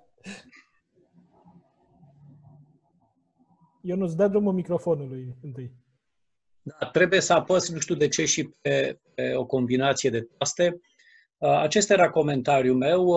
Mie Taleb mi s-a părut riguros și chiar sistematic, dacă nu în forma de expresie, în gândire. Și atunci când vorbește despre cum mănâncă la un restaurant, nu o face ca un influencer, să spun, ci de fiecare dată e o poveste cu tâlc, care cred că te ajută să-l înțelegi mai bine și cred că de aici vine și antifragilitatea lui. Iar uh, legat de, de uh, fractali, uh, eu așa țin minte că spunea undeva că Mandelbrot a reușit să facă multe lebede negre, să le facă gri exact. și asta cred că ține de, de faptul că uh, cu ajutorul fractalilor el a creat un, arată un model în care realitatea poate să fie mai bine descrisă, ne apropiem de un pic mai mult de realitate, pentru că lebedele negre apar atunci când acționăm după un model asupra lumii, uh, dar modelul pe care îl avem despre lume nu mai coincide cu realitatea. Și acolo uh, unde nu coincid, noi de obicei tragem un fald, faldul lui Platon. De acolo apar lebedele negre. Exact. Uh, și fractalii acestea sunt o descriere mai adecvată a realității. Eu, eu aș porni de la ceea ce spunea Ciprian mai întâi, și anume analogia cu Nietzsche. La Nietzsche lucrurile fiind foarte serioase. Denunțarea asta a rațiunii dominante și a iluziilor ei, destrăm, necesitatea destrămării ei care lasă loc cu altceva. Asta mi se pare o treabă foarte serioasă. În vreme ce undeva în subtextul lui Taleb și ducând lucrurile mai aproape atunci când vorbim la ora actuală de crize și de toate lucrurile astea, mie mi se pare că e o mișcare, că e un soi de motor în trei timpi, ca să zic așa. Primul dintre timpii ăștia este ceva cu desăvârșire previzibilă, creșterea economică, de pildă. Lucrurile cresc cu un ritm pe care care, uitându-ne noi la prognoze, la statistică, la influențe, la nu știu ce, îl putem determina de la începutul anului, să fac previziuni pe astea, să joacă la bursă și așa mai departe. Ăsta e primul timp. Al doilea timp este faptul că toate lucrurile astea se agregă. Ca să obții creșterea economică, trebuie să vezi nu știu câte sectoare economice ale țării. Atenție, începi să vezi deja lucruri interdependente între ele, la scară regională în Europa, la scară mondială și așa mai departe. Undeva în capătul acestui sistem de previzibilitate e altceva. Ceva cu desăvârșire instabil, complexitatea. Și odată ce am ajuns pe tărâmul complexității, undeva ceva pușcă în permanență. E exact așa ca o mașinărie extrem de sofisticată, ca un hiperprogram de calculator care întotdeauna are mica hibă. Undeva se întâmplă tot timpul ceva. Acum, acel ceva care se întâmplă poate să fie de diverse feluri. Poate să fie o treabă care se rezolvă punctual, poate să fie o treabă care propagă ceva în tot sistemul. și ceea ce propagă poate să fie un lucru bun, care duce la întărirea ordinii sau la modificarea ordinii într-un sens adaptativ sau poate să fie ceva rău care deechilibrează totul. Mie asta mi se pare că e situația noastră. Uh, problema reală nu e o problemă de antifragilitate, e o problemă de complexitate. Ce facem cu complexitatea? Vă rog, uitați-vă la un lucru care e foarte interesant în politica actuală. Vi-l aduceți aminte pe Obama, un tip extrem de simpatic, inteligent, din toate punctele de vedere. De orice problemă se, se lovea, omul ăsta avea un singur comentariu. Nu e o problemă foarte complexă o să o studiem, o să o analizăm, uh, chemăm specialiști din toată lumea, discutăm și așa mai departe. Uh, și venea o altă problemă la fel de complexă, nimeni nu mai știa ce s-a întâmplat cu precedenta, tot au analizat-o uh, pe treaba respectivă. A venit băiatul ăsta de la Casa Albă, ăsta îi spui o chestie cât se poate de complexă și îți dă un răspuns. Poate el dă din întâmplare. Poate s-o gândit, poate îl dau consilieri, n-am de unde să știu eu. Dar îți dă un răspuns și tranșează într-o problemă foarte complexă și tranșând în problema aia, imediat creează un val de lume care se duce după el.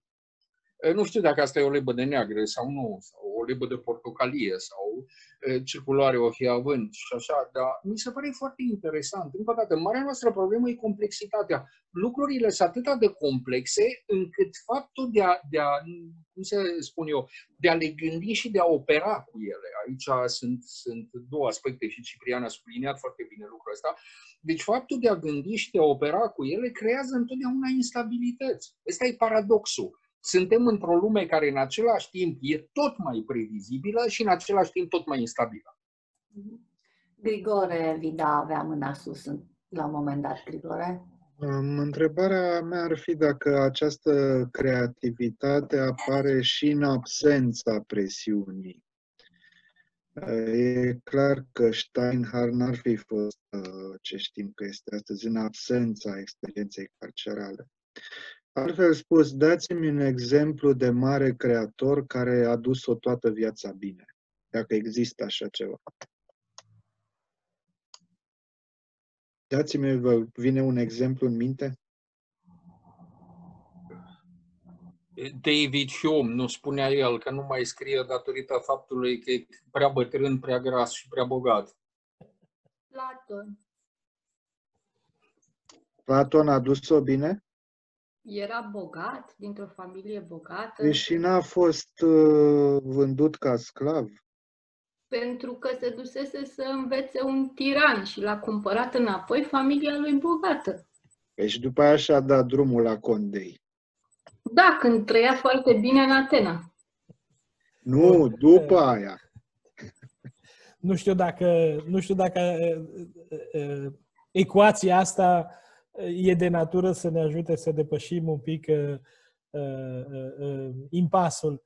Uh, aș reveni un pic da, la... În, de, în definiția lui Taleb, este strict legată uh, și antifragilitatea și reziliența de răspunsul la criză. Deci, pentru, în, în, în viziunea lui Taleb, vorbim despre felul în care organismele și celulele biologice. Sistemele dar, complexe. Sistemele complexe. Sistemele, ori după aia sistemele din ce în ce mai, mai complexe, toate sunt de la început complexe, dar unele sunt uh, sociale și altele sunt indivizi, felul în care ăștia răspund la, la presiune, la criză, la dezastru. Deci, uh, într-un anumit sens, la întrebarea ta, Grigore, răspunsul este dacă există astfel de creatori, ei nu ilustrează teoria despre care vorbește uh, Taleb, care susține că antifragilitatea este un răspuns la presiune.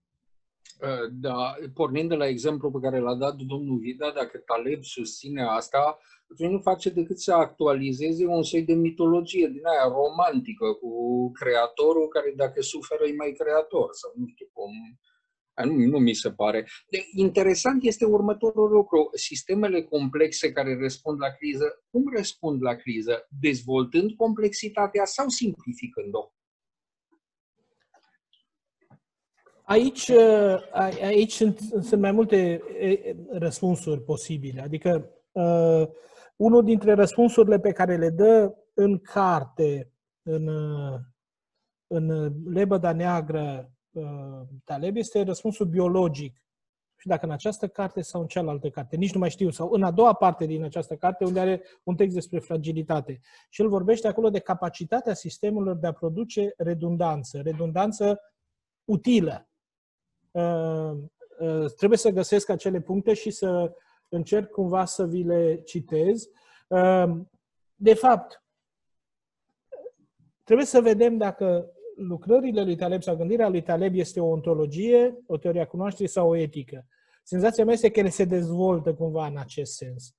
Pentru că sunt referințe, cum și Ionuț văd că îl apreciază, um, ajustă titlu pe drept cuvânt pe Taleb, mi se pare un umanist. Este un umanist pe fond pentru că el ne readuce la modestia pe care trebuie să, ave, să o avem în situațiile în care ne putem întâlni și ne întâlnim tot mai frecvent în viața noastră cu um, hazardul, cu întâmplarea, cu șocul, cu catastrofa și așa mai departe. Cu lebedele negre. Lebedele negre sunt, sigur, e o metaforă frumoasă, dar cel mai adesea lebedele negre nu sunt evenimente fericite. Exemplul, vă dau un exemplu foarte bun pe care l-am găsit într-o dezbatere despre lebeda neagră și despre aceste, uh, această putere a imprevizibilului și care trebuie să ne ducă înspre o dimensiune etică, sărind un pic.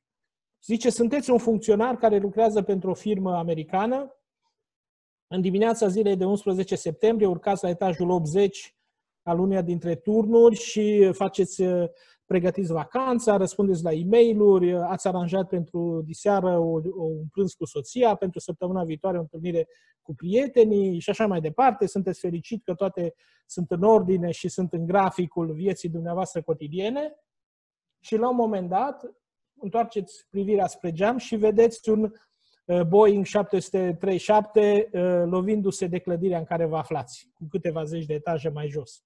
Și în acel moment te întrebi care este întrebarea pe care ți-o pui în acel moment?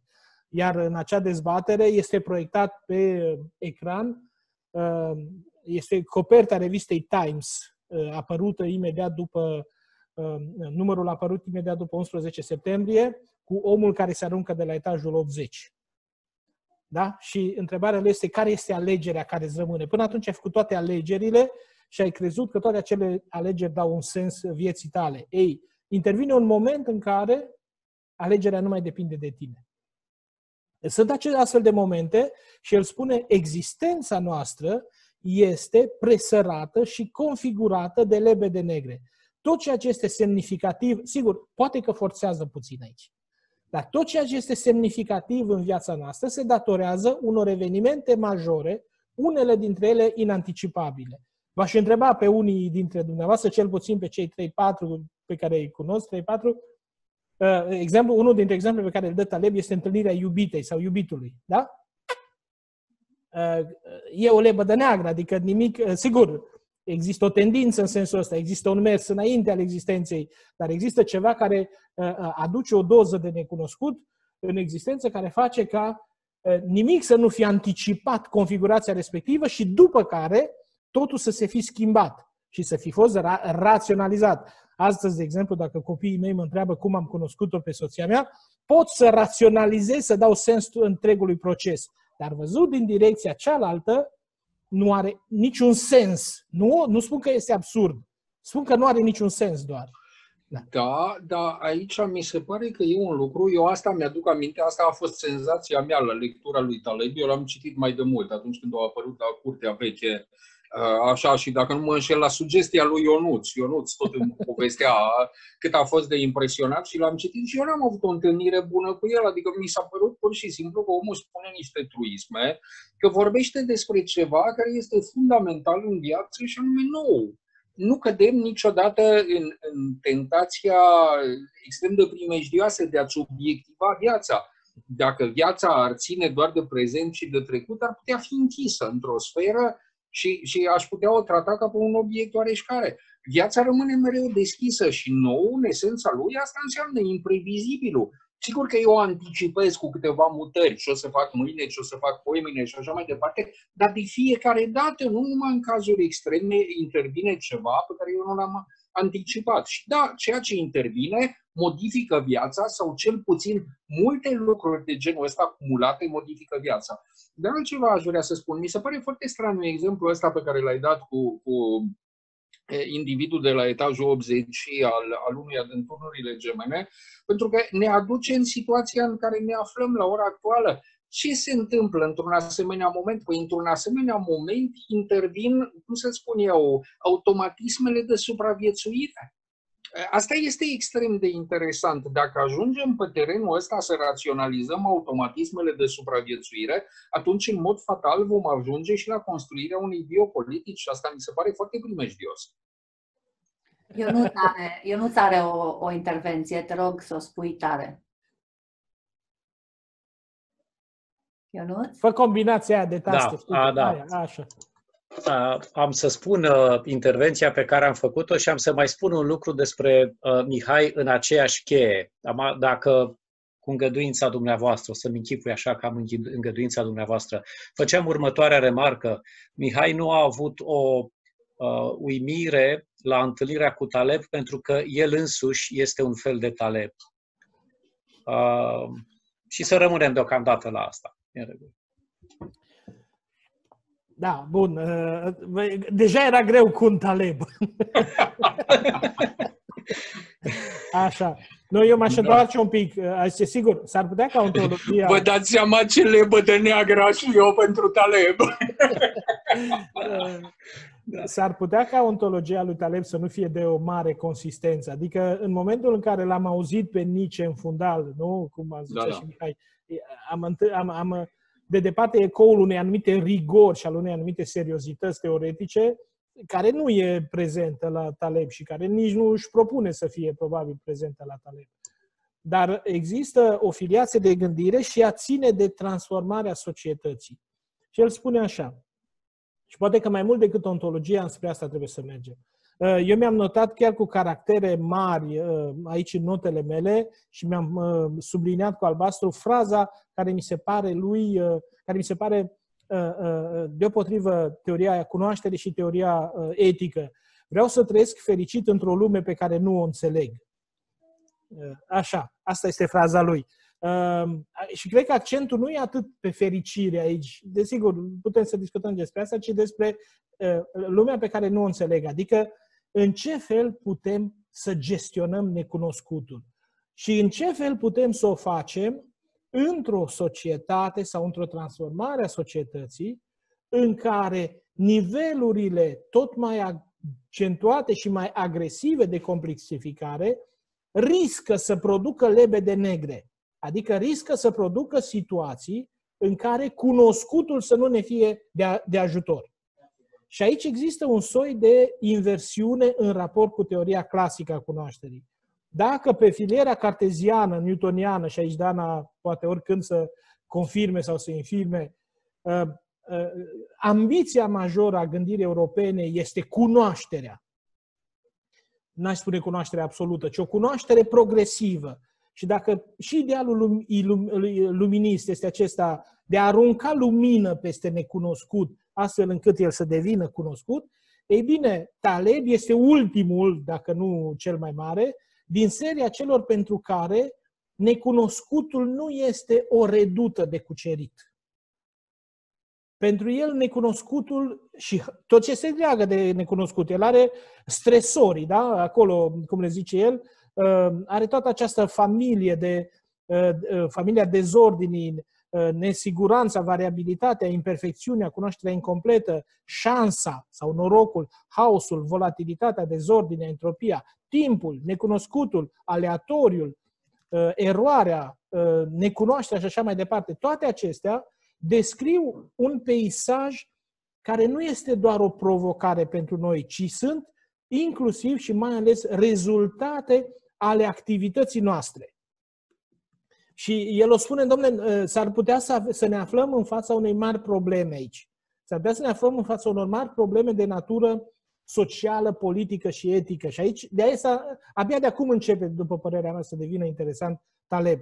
Sigur, el devine interesant și pentru că poate să spună în 2007 următorul lucru. Vă citesc doar această... Seamnă, mi-am pus un bilețel roz pe paragraful în care spune așa, în momentul în care el spune, vorbește despre mama natură, a pomenit Mihai, Ionuț, pardon, despre mama natură, ce iubește și ce nu iubește.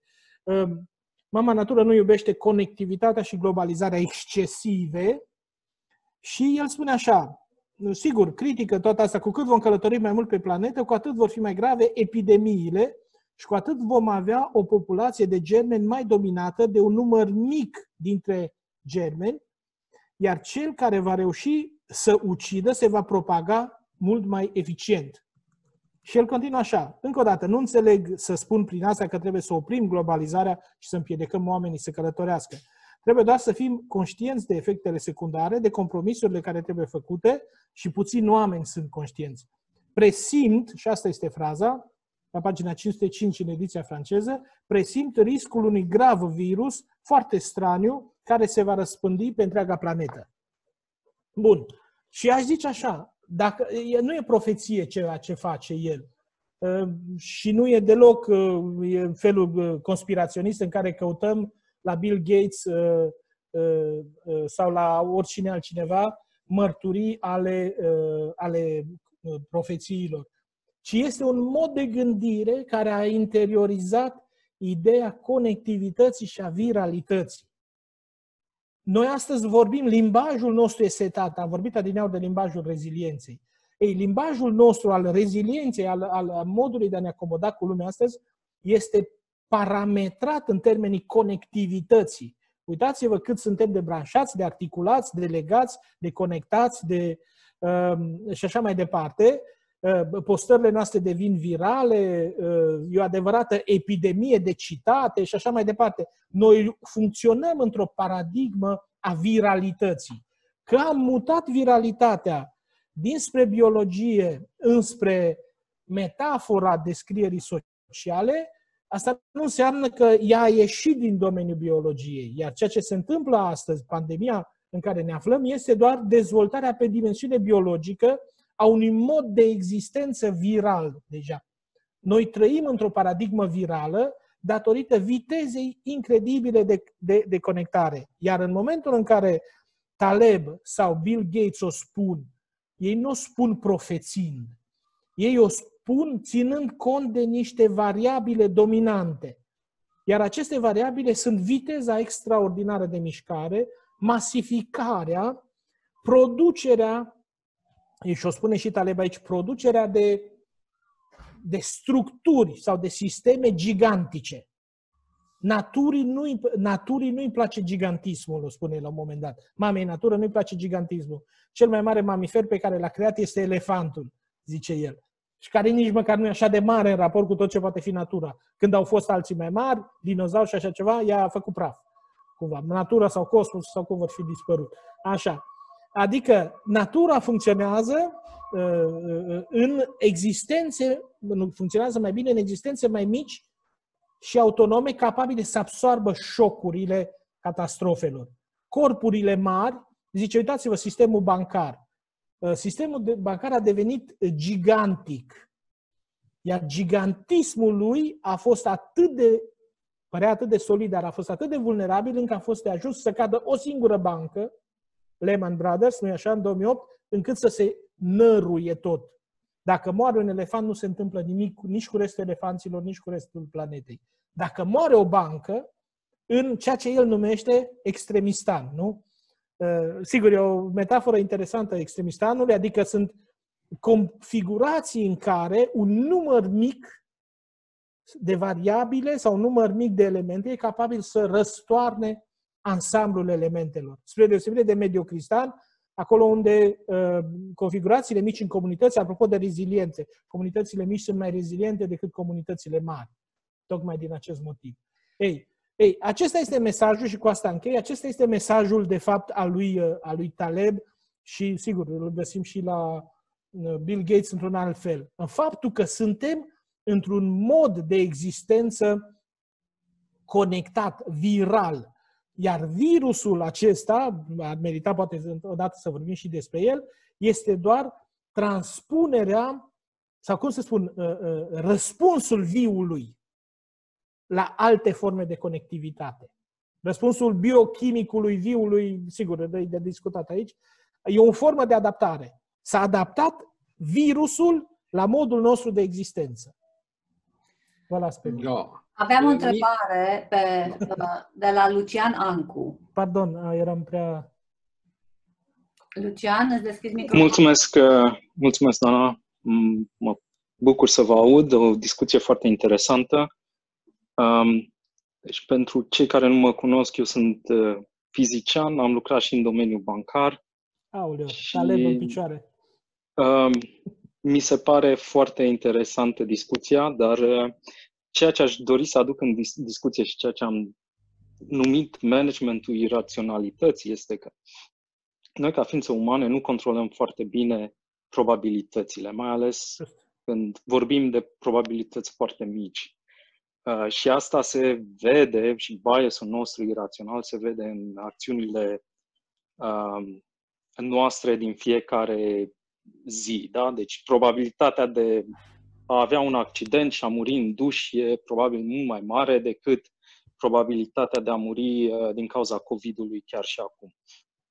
Uh, ca să nu vorbesc uh, de a merge cu avionul, care este uh, pentru mulți dintre noi un, un proces stresant. stresant.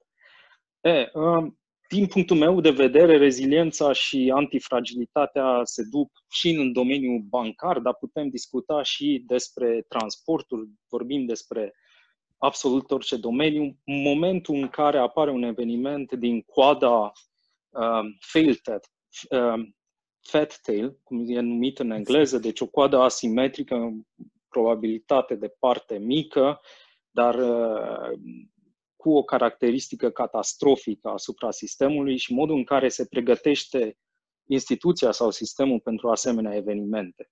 Ori, uh, fiind ființe iraționale și vă recomand să citiți Ariely, tot ce Daniel Ariely, tot ce puteți găsi despre el, uh, ne spune că este natura noastră să sub, subestimăm câteodată uh, probabilitatea de apariție sau să supraestimăm în cazul în care vedem uh, acest eveniment ca fiind un eveniment catastrofic și din, sau cu pierdere totală. De aceea, Uh, de exemplu, uh, mersul pe bicicletă, să zic, ar putea fi mai văzut ca mai puțin periculos sau un duș mai puțin periculos decât mersul uh, cu avionul, fiindcă șansa de supraviețuire în cazul unui asemenea accident este mult mai mare, pe când un accident aviatic este perceput ca 0 sau 1,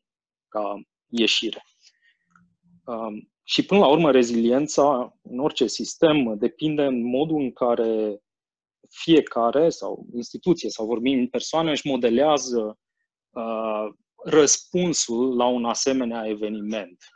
Uh, și depinde foarte mult la nivel personal uh, ce s-a discutat și de Holocaust și de alte chestiuni, uh, uh modul în care um, percepem aceste evenimente și modul în care um, um, acționăm. Îmi aduc aminte, um, poate ați citit foarte mulți dintre voi, deschiderea conexiunilor lui uh, James Burke, uh, care pornește de la o pană de um, electricitate în New York, mi se pare în anul 86, da?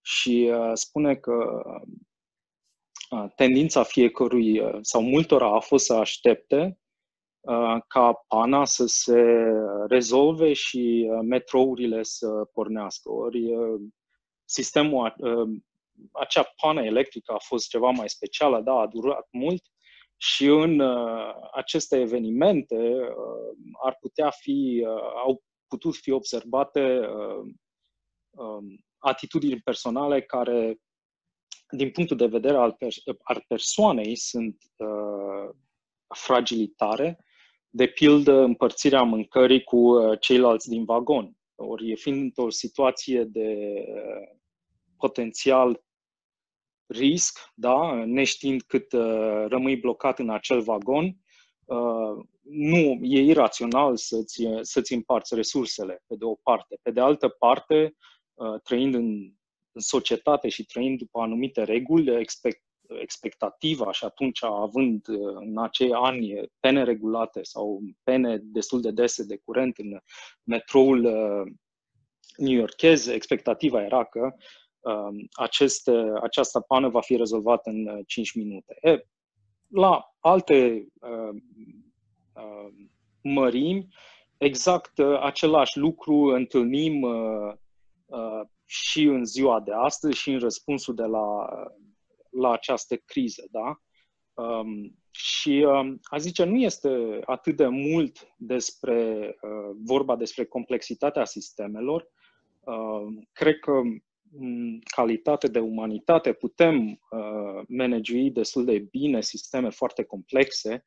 Um, um, important este managementul riscului și managementul uh, lăsării bufferilor de securitate în, uh, în cazul întâmplării unor asemenea întâmplări. Nu? Uh, ceea ce vedem și acum, uh, această uh, COVID, da, au existat scenarii, au existat chiar și, dacă vreți, antrenamente cu SARS-ul și cu ce a mai fost gripa porcină, dar uh, toate au fost percepute ca probabilități mici de toate statele și niciun stat nu a zis, uh, ok, acum o să-mi fac o, uh, um, un, un stoc de materiale medicale care costă și trebuie menținute. Um, deci, până la urmă, ca să revin la ideea inițială, um, reziliența sau antifragilitatea depinde până la urmă de acest management al iraționalității, în special în, uh, în sensul de producere al, ale unor evenimente care nu pot fi prevăzute. De pildă, la nivel personal, uh, o persoană, cum ziceați, din Africa, reziliență, sau o persoană din România va fi mult mai rezilientă la întârzierea unui tren decât o persoană din Elveția, locul unde locuiesc acum, sau din Japonia care probabil au altă expectativă și uh, o întârziere a unui tren va putea produce un lanț de evenimente negative. The butterfly effect. Uh, da, oarecum. Uh, vă mulțumesc uh, uh, și da, ca să răspund și la întrebarea care am văzut-o pe chat, uh, da, Ancu ca Anc din 2001. O seară plăcută. mulțumim, mulțumim mult, Lucian. Uh, Cristian Hârjoi are o întrebare pe chat. Nu vrei să o pui uh, cu microfon? Uh, ba da. Uh, un pic.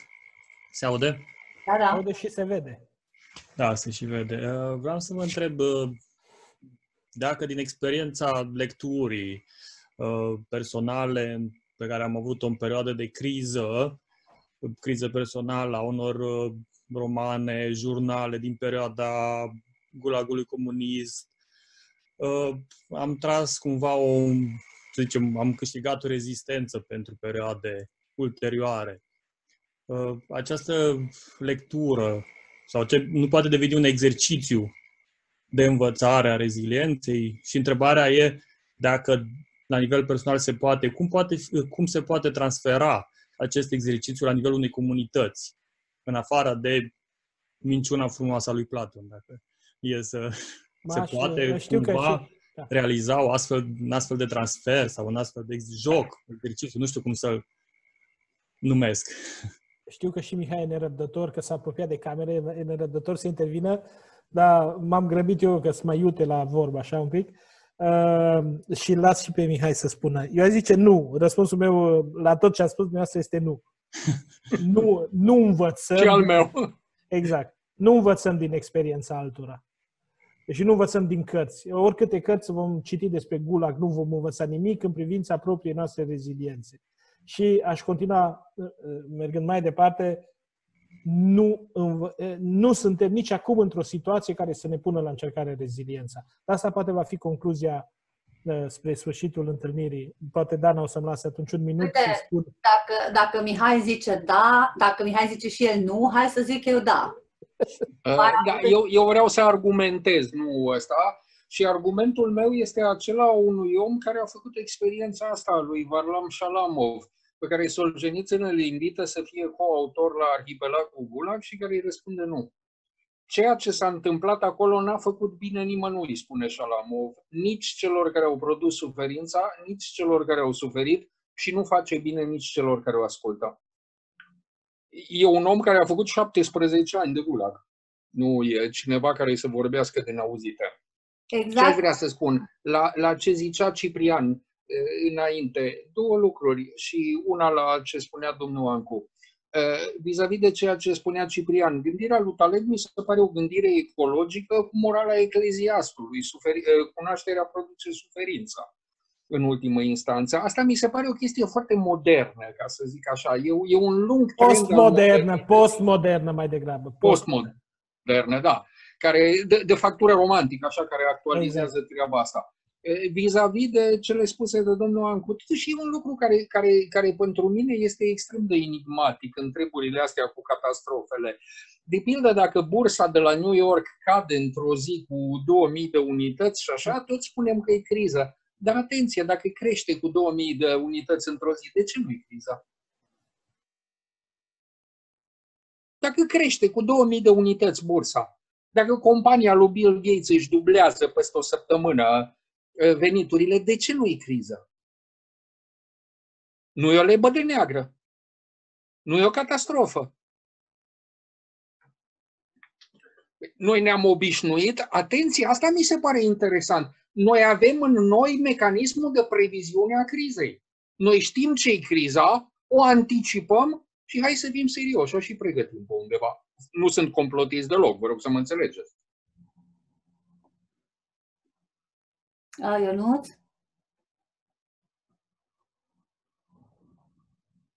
Ionuț, dă drumul la microfon.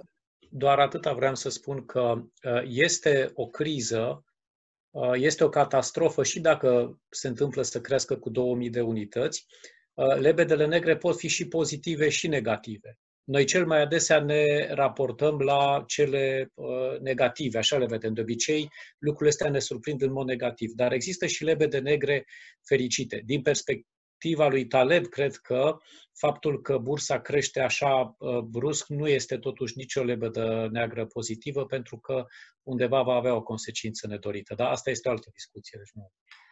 Eu Ei, este să, o criză. Aș fi vrut să răspund um, cu da la întrebarea pusă de Cristian mai devreme și să argumenteze în următorul mod.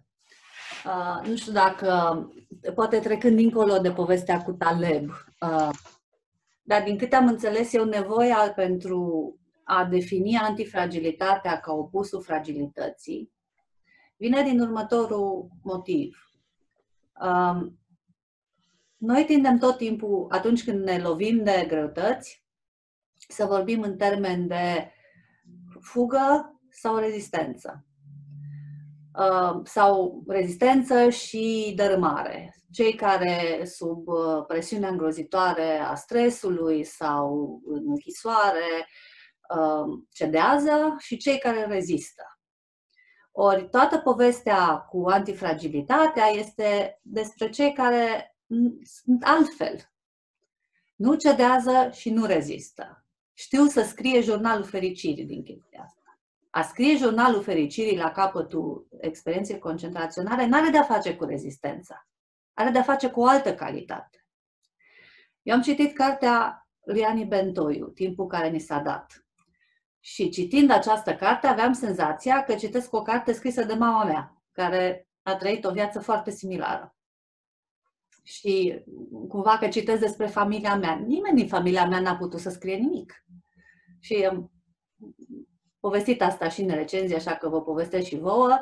Am amintirea asta din copilărie în care bunicul a primit un cadou de ziua lui, un caiet în care să scrie memoriile, avea deja 80 de ani și a venit a doua zi dimineață spunând am dormit toată noaptea, bunica era cel mai senin om pe care l-am cunoscut, cel mai stoic filozof posibil. Era tot timpul de o lumină și de o răbdare infinită. Nu era cineva care să nu doarmă toată noaptea. Și a venit cu caietul înapoi și a spus, n-am dormit toată noaptea, nu, nu pot să-mi retrăiesc viața, nu pot să-mi aduc aminte nici de Stalingrad, nici de pușcările comuniste, de nimic. Ia caietul ăsta înapoi, eliberează-mă de sarcină, îi spunea mamei. Um, eu am citit povestea cu rezistența în termenii de rezistență. Oamenii rezistă. Dar cei care reușesc să scrie viața și să spună celorlalți ceva despre viață și să învețe pe ceilalți, nu o să învețe, învețe nimeni niciodată să trăiască ca Ani Bentoiu și nu o să învețe nimeni niciodată să trăiască ca Steinhardt, că nu poți să înveți să trăiești ca Steinhardt. Dar de la ei am învățat cu toții enorm. Și asta mi se pare că este, mă rog, ceea ce ar fi filozofic în conceptul de antifragilitate. Încearcă să măsoare acel răspuns în care omul devine creator. Nu mai este rezistent, nu mai este doar erou, nu mai este, ci devine creator. Și aici zice că dacă, în măsura în care oamenii ăștia sunt creatori, ei ne învață ceva. Pe fiecare cât putem să învățăm, dar de la ei învățăm. Sau un lucru absolut fundamental, sunt capabili să asume experiența la nivelul sensului. Experiențele ca atare sunt incomunicabile, cum a spus Ciprian nu poți, oricât de mult te-ai chinui să îi explici celuilalt experiența ta, e incomunicabilă. Atunci când reușești să distilezi un sens, sensul poate fi partajat. Asta e. Dar cu antifragilitate am o mică rezistență. Vă mai aduceți aminte secvența aia, nu mai țin minte, cu care începe, dacă nu mă înșel, sacrificiul lui Tarkovski, când duc găleata cu apă ca să ude pomul uscat și îi spune uh, părintele copilului uh, ceea, ce, ceea ce e tare, ceea ce e puternic e uscat în esența lui. Viața e fragilă, ceea ce e fragil crește, pulsează. Mie aici mi se pare reziliența adevărată. Și mm. din da, câte da. înțeleg, da. inclusiv la Taleb, cu gândirea lui ecologică, e o reziliență de tipul ăsta, care crește, pulsează, se ramifică în felul ei. Da, e foarte adevărat. E, e un autor baroc și aș spune chiar e un autor, cum să spun, care lucrează foarte mult în, în imagini, în exemple și așa, în stiluri, lucrează cu mai multe stiluri în același timp Ehm, dar, încă o dată, senzația mea este că e profund umanist exact în această capacitate. E invenția asta antifragilitate. Eu l-am urmărit, am zis, hai să încerc să înțeleg din carte cât pot, după aceea l-am ascultat în niște conferințe, se repetă. Și repetă inclusiv exemplele, când el vrea să trimită pahare de șampanie în Siberia. Nu știu de ce a ales exact acest exemplu pe care îl reia în cel puțin două conferințe pe care le face și în în Statele Unite și după aceea într-un interviu pe care îl dă la uh, France Culture. Uh, adică el încearcă să, încearcă să conceptualizeze, el produce un concept. Și noi știm ce, ce capricioase existențe sunt conceptele, așa Adică ce dificultate uriașă este să-l produci ca el să fie consistent, coerent și așa mai departe, să încapă într-un sistem, uh, într-un sistem de, de, de numiri și de, de grif, de acaparare a unui real. Și efortul lui mi se pare absolut lăudabil. Și cred că este efortul care merge în acest sens. Cum putem noi, așa cum zice Dana, să răspundem altfel decât reactiv tuturor acestor stresori care se înmulțesc în jurul nostru. De aici, probabil că ar trebui să urmeze o postură etică la un moment dat. Se spunea cineva cuvântul stoic. S-ar putea să urmeze de aici ecologismul acesta să fie Cine știe, poate un răspuns de natură stoică. Și el mai este ceva. Mai este ceva care ține, e abia schițat, poate, dar n-am citit nici antifragilul până la capăt, nici lebăda neagră, mărturisesc și aș vrea să stau pe texte și uh, să, să lucrez în preajma acestei gândiri, nu neapărat în pătrățelul ei, dar poate că în zonele limitrofe unde se dezvoltă, pornind de la el, gândiri, să-i văd și, și o dimensiune cumva politică mai accentuată. Adică e vorba de, de un regim al cunoașterii. Pe de o parte, regimurile noastre ale cunoașterii s-au dezvoltat, s-au perfecționat atât de mult încât ele, pentru foarte mulți dintre noi, nu mai fac sens. Ceea ce se întâmplă astăzi în fizică cuantică, non-cuantică, mai știu cum, în teoria fractalilor, în biologie, în astronomie, în, în, chiar și în medicină, pentru noi nu face sens. E un adevăr profund acolo, dar adevărul științific, dacă putem să zicem așa foarte repede, pentru că timpul nu e prieten acum cu noi, s-a, s-a uh, a divorțat de sens. Iar acest sens, la, la el nu mai ajungem, să ajungem foarte greu. Și noi, majoritatea dintre noi, cei mai mulți membri ai societății, trăim într-un regim al unui soi de ignoranță sau unei semicunoașteri. Ca să nu-i spun chiar ignoranță, dar pe alocuri este gravă, e o ignoranță gravă sau noi mai spunem cu Mihai când scriem analfabetism funcțional. Acolo suntem, adică analfabetismul funcțional este sensul fără adevăr, cumva. Omul simplu zice, domnule, nu mă interesează toate prostiile tale cu vaccin, cu mai știu eu ce, cu așa, ă, cu homosexual și cu ce mai aveți voi în cap. Sensul bazic, nene, ăla acolo să fie. Da? Ok. Ă, adică, ă, una dintre major, provocările majore ale societății este necunoscutul, în sensul nobil descris de Taleb, dar și în sensul prea puțin nobil de ignoranță.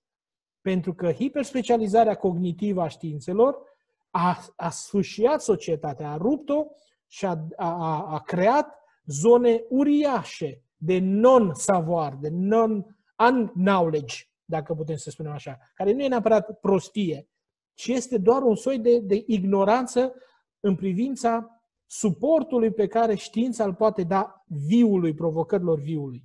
Ei, și acolo cumva Uh, sunt niște situații și aș spune aici poate o ultimă idee pe care o am, sigur și aș fi tare bucuros să mai spună și, și, și uh, alții ceva aici. Uh, am ascultat niște conferințe uh, ale unor filozofi în aceste zile. Există un canal pe care vi-l recomand, Filozofia în vremea pandemiei, în care intervin foarte mulți filozofi. Ei sunt francofoni, majoritatea dintre ei, dar unele texte sunt și subtitrate în engleză. Și uh, unul dintre autorii care intervine acolo spune ceva de felul acesta și se leagă foarte, foarte bine de antifragilitatea și de fragilitatea mai degrabă, nu atât de antifragilitate. Pentru că aici antifragilitatea este răspunsul pozitiv la o fragilitate tot mai accentuată a societăților noastre. Noi trăim în această iluzie și le, mi-am adus aminte de un exemplu nemaipomenit, cred că tot într-un interviu pe care îl dă Taleb l-am auzit. Deci imaginați-vă că suntem în următoarea situație. Apropo de hazard, da? de întâmplare, de lebăda neagră. Ruleta rusească. Ruleta rusească este un joc al hazardului. Învârtim, uh, cum se numește? Uh, butoiașul. Butoiașul pistolului și la întâmplare. La întâmplare. Și acolo uh, întâmplarea se numește noroc sau ghinion. Scurt vorbind, foarte brutal vorbind. Avem o șansă din șase și așa mai departe. Apropo de ce spunea din nou domnul Ancu relativ la, la, la probabilități. Ei, se întâmplă însă următorul fenomen. Zice pe de o parte, e greu să ne imaginăm un individ care joacă la ruleta, ruleta rusească ieșind la pensie. Admițând aici că probabilitatea ca uh, tragicul să se întâmple să fie mare. Pe de altă parte, zice, noi suntem astăzi în societățile noastre în situația în care, la tâmpla societății, e pus un pistol cu o mie, cu un milion de lăcașuri și cu un singur glonț. E atât de rar, e atât de mică probabilitatea în ochii noștri ca, acest, uh, ca această catastrofă să se întâmple, încât uităm chiar că ea este posibil să se întâmple. Și noi trăim ca și cum ea nu se poate întâmpla. Și Uh, butoiașul se învârte, se învârte și se învârte și noi uităm că el mai există. Și la un moment dat, pac! E ca individul de la etajul 80. Da? La un moment dat se întâmplă. Noi nu știm de ce. El a fost tot timpul acolo. El a fost tot timpul acolo, da? Ei, uh, și asta ne aduce atunci în situația următoare. Vă spuneam de filozoful pe care l-am auzit apropo de situația în care ne aflăm acum. Uh, S-a produs de vreo 20 de ani, spune autorul, foarte bine. Știți, poate mă mai țineți minte de pe vremea când vorbeam despre biopolitică la filozofie și era marota mea cu biopolitica. Biopolitica este uh, teoria lui Foucault în care el spune că de vreo două secole încoace statul a confiscat cunoașterea despre viu, despre biologic, pentru a face din ea un instrument de dominație socială și politică. Da? Tot ce înseamnă astăzi evidența populației în termen de sănătate, boală, risc epidemiologic și așa mai departe, toate acestea au fost confiscate de către stat, care a transformat biologia într-o politică publică. Bun. Și zice autorul, nu, noi zice de vreo 20 de ani, cel puțin, nu știm exact, dar cel puțin de vreo 20 de ani s-a terminat cu asta. Trebuie să renunțăm la ideea de biopolitică pentru un motiv simplu. Puterea nu mai lucrează astăzi cu cunoașterea. Între pouvoir și savoir s-a produs o ruptură. În sensul în care puterea consideră, zicem, societățile noastre avansate, s-ar putea ca în toate societățile, sau cel puțin în majoritatea celor care dau tonul azi în lume, ca puterea să considere că își poate produce propria cunoaștere, care nu mai este cunoașterea nici a universităților, nici a institutelor de cercetare, nici a științei, nici tot ce înseamnă aparat de cunoaștere în sensul cunoașterii umane. Și cel mai bun exemplu pe care îl dau eu, pe care îl văd, este cel al lui Trump. Trump și-a produs propria mașinărie de cunoaștere. Alt, cunoașterea alternativă. Toate aceste false cunoaștere alternative care ne-au fragilizat social incredibil astăzi. Ă, a, uitați-vă în România, că tot venim la actualitate, că de aici am plecat și cu articolul ăla și cu multe articole. Cum e posibil să nu știm câte paturi sunt în România? Cum e posibil să nu știm câte cazuri dintr-o anumită boală avem în România? Cum e posibil să nu știm lucruri foarte elementare? De ce? Pentru că puterea nu funcționează cu combustibilul cunoașterii. Funcționează cu combustibilul uh, non-cunoașterii, al prostiei. Nu într-un sens neapărat moral, ci în sensul fundamental al autosuficienței. Puterea își este suficientă să ieși ca să domine, nu are nevoie de cunoaștere. Ei, și asta ne aduce la ultima idee, această criză, spune Taleb și o spun mai mulți, nu este o lebădă neagră. Este o lebădă albă, foarte albă, adică ea este absolut anticipabilă. Sigur că ea s-a întâmplat cumva într-un sens neașteptat. Fiind o lebădă albă, s-ar putea să nici măcar să învățăm ceva din ea. Pentru că ea nici nu va dura suficient cât să ne cum să spun, cât să ne traumatizeze într-atât, să sperăm că nu durează și să sperăm, evident, că vor muri foarte puțini oameni sau cât mai puțini oameni, dar ea nu va dura într-atât încât să fie un eveniment de, cel, de genul celor deschis, descrise de Cyrulnik, de Taleb sau de alți uh, maestri ai uh, fragilității și antifragilității. Și aici e cumva mediocristanul nostru și chiar mediocritatea noastră suntem într-o, într-o zonă de asta în care ne face cu ochiul criza, apocalipsa, dar și apocalipsa noastră e cumva foarte mediocră, adică e, e mai spectaculoasă în filme decât în realitate. Voilà, cam asta mi se părea că... Asta aș... este o bună replică de încheiere, dacă nu are nimeni ceva. Poate Mihai are o replică și mai brillantă. Întrebarea mea este dacă o asemenea logică la Taleb sfârșește prin a include în, în cum să spun eu, în mecanismul cunoașterii neprevăzutul care se întâmplă, sau e o chestie care îl lasă pe fiecare cu el însuși să vadă cu adevărat și în mod manifest că trandafirul nu are de ce. Da, la roze sunt pourquoi. Da, aici mergem spre misticism deja. Ne... Da, da. Dragii mei, vă mulțumesc foarte mult. Noi vă mulțumim. Ne vedem săptămâna viitoare. Mulțumesc pentru răbdare. Mulțumim foarte mult, Ciprian. Mulțumim, Mihai. Mulțumim tuturor. Noapte cele bune vouă. Noapte bună.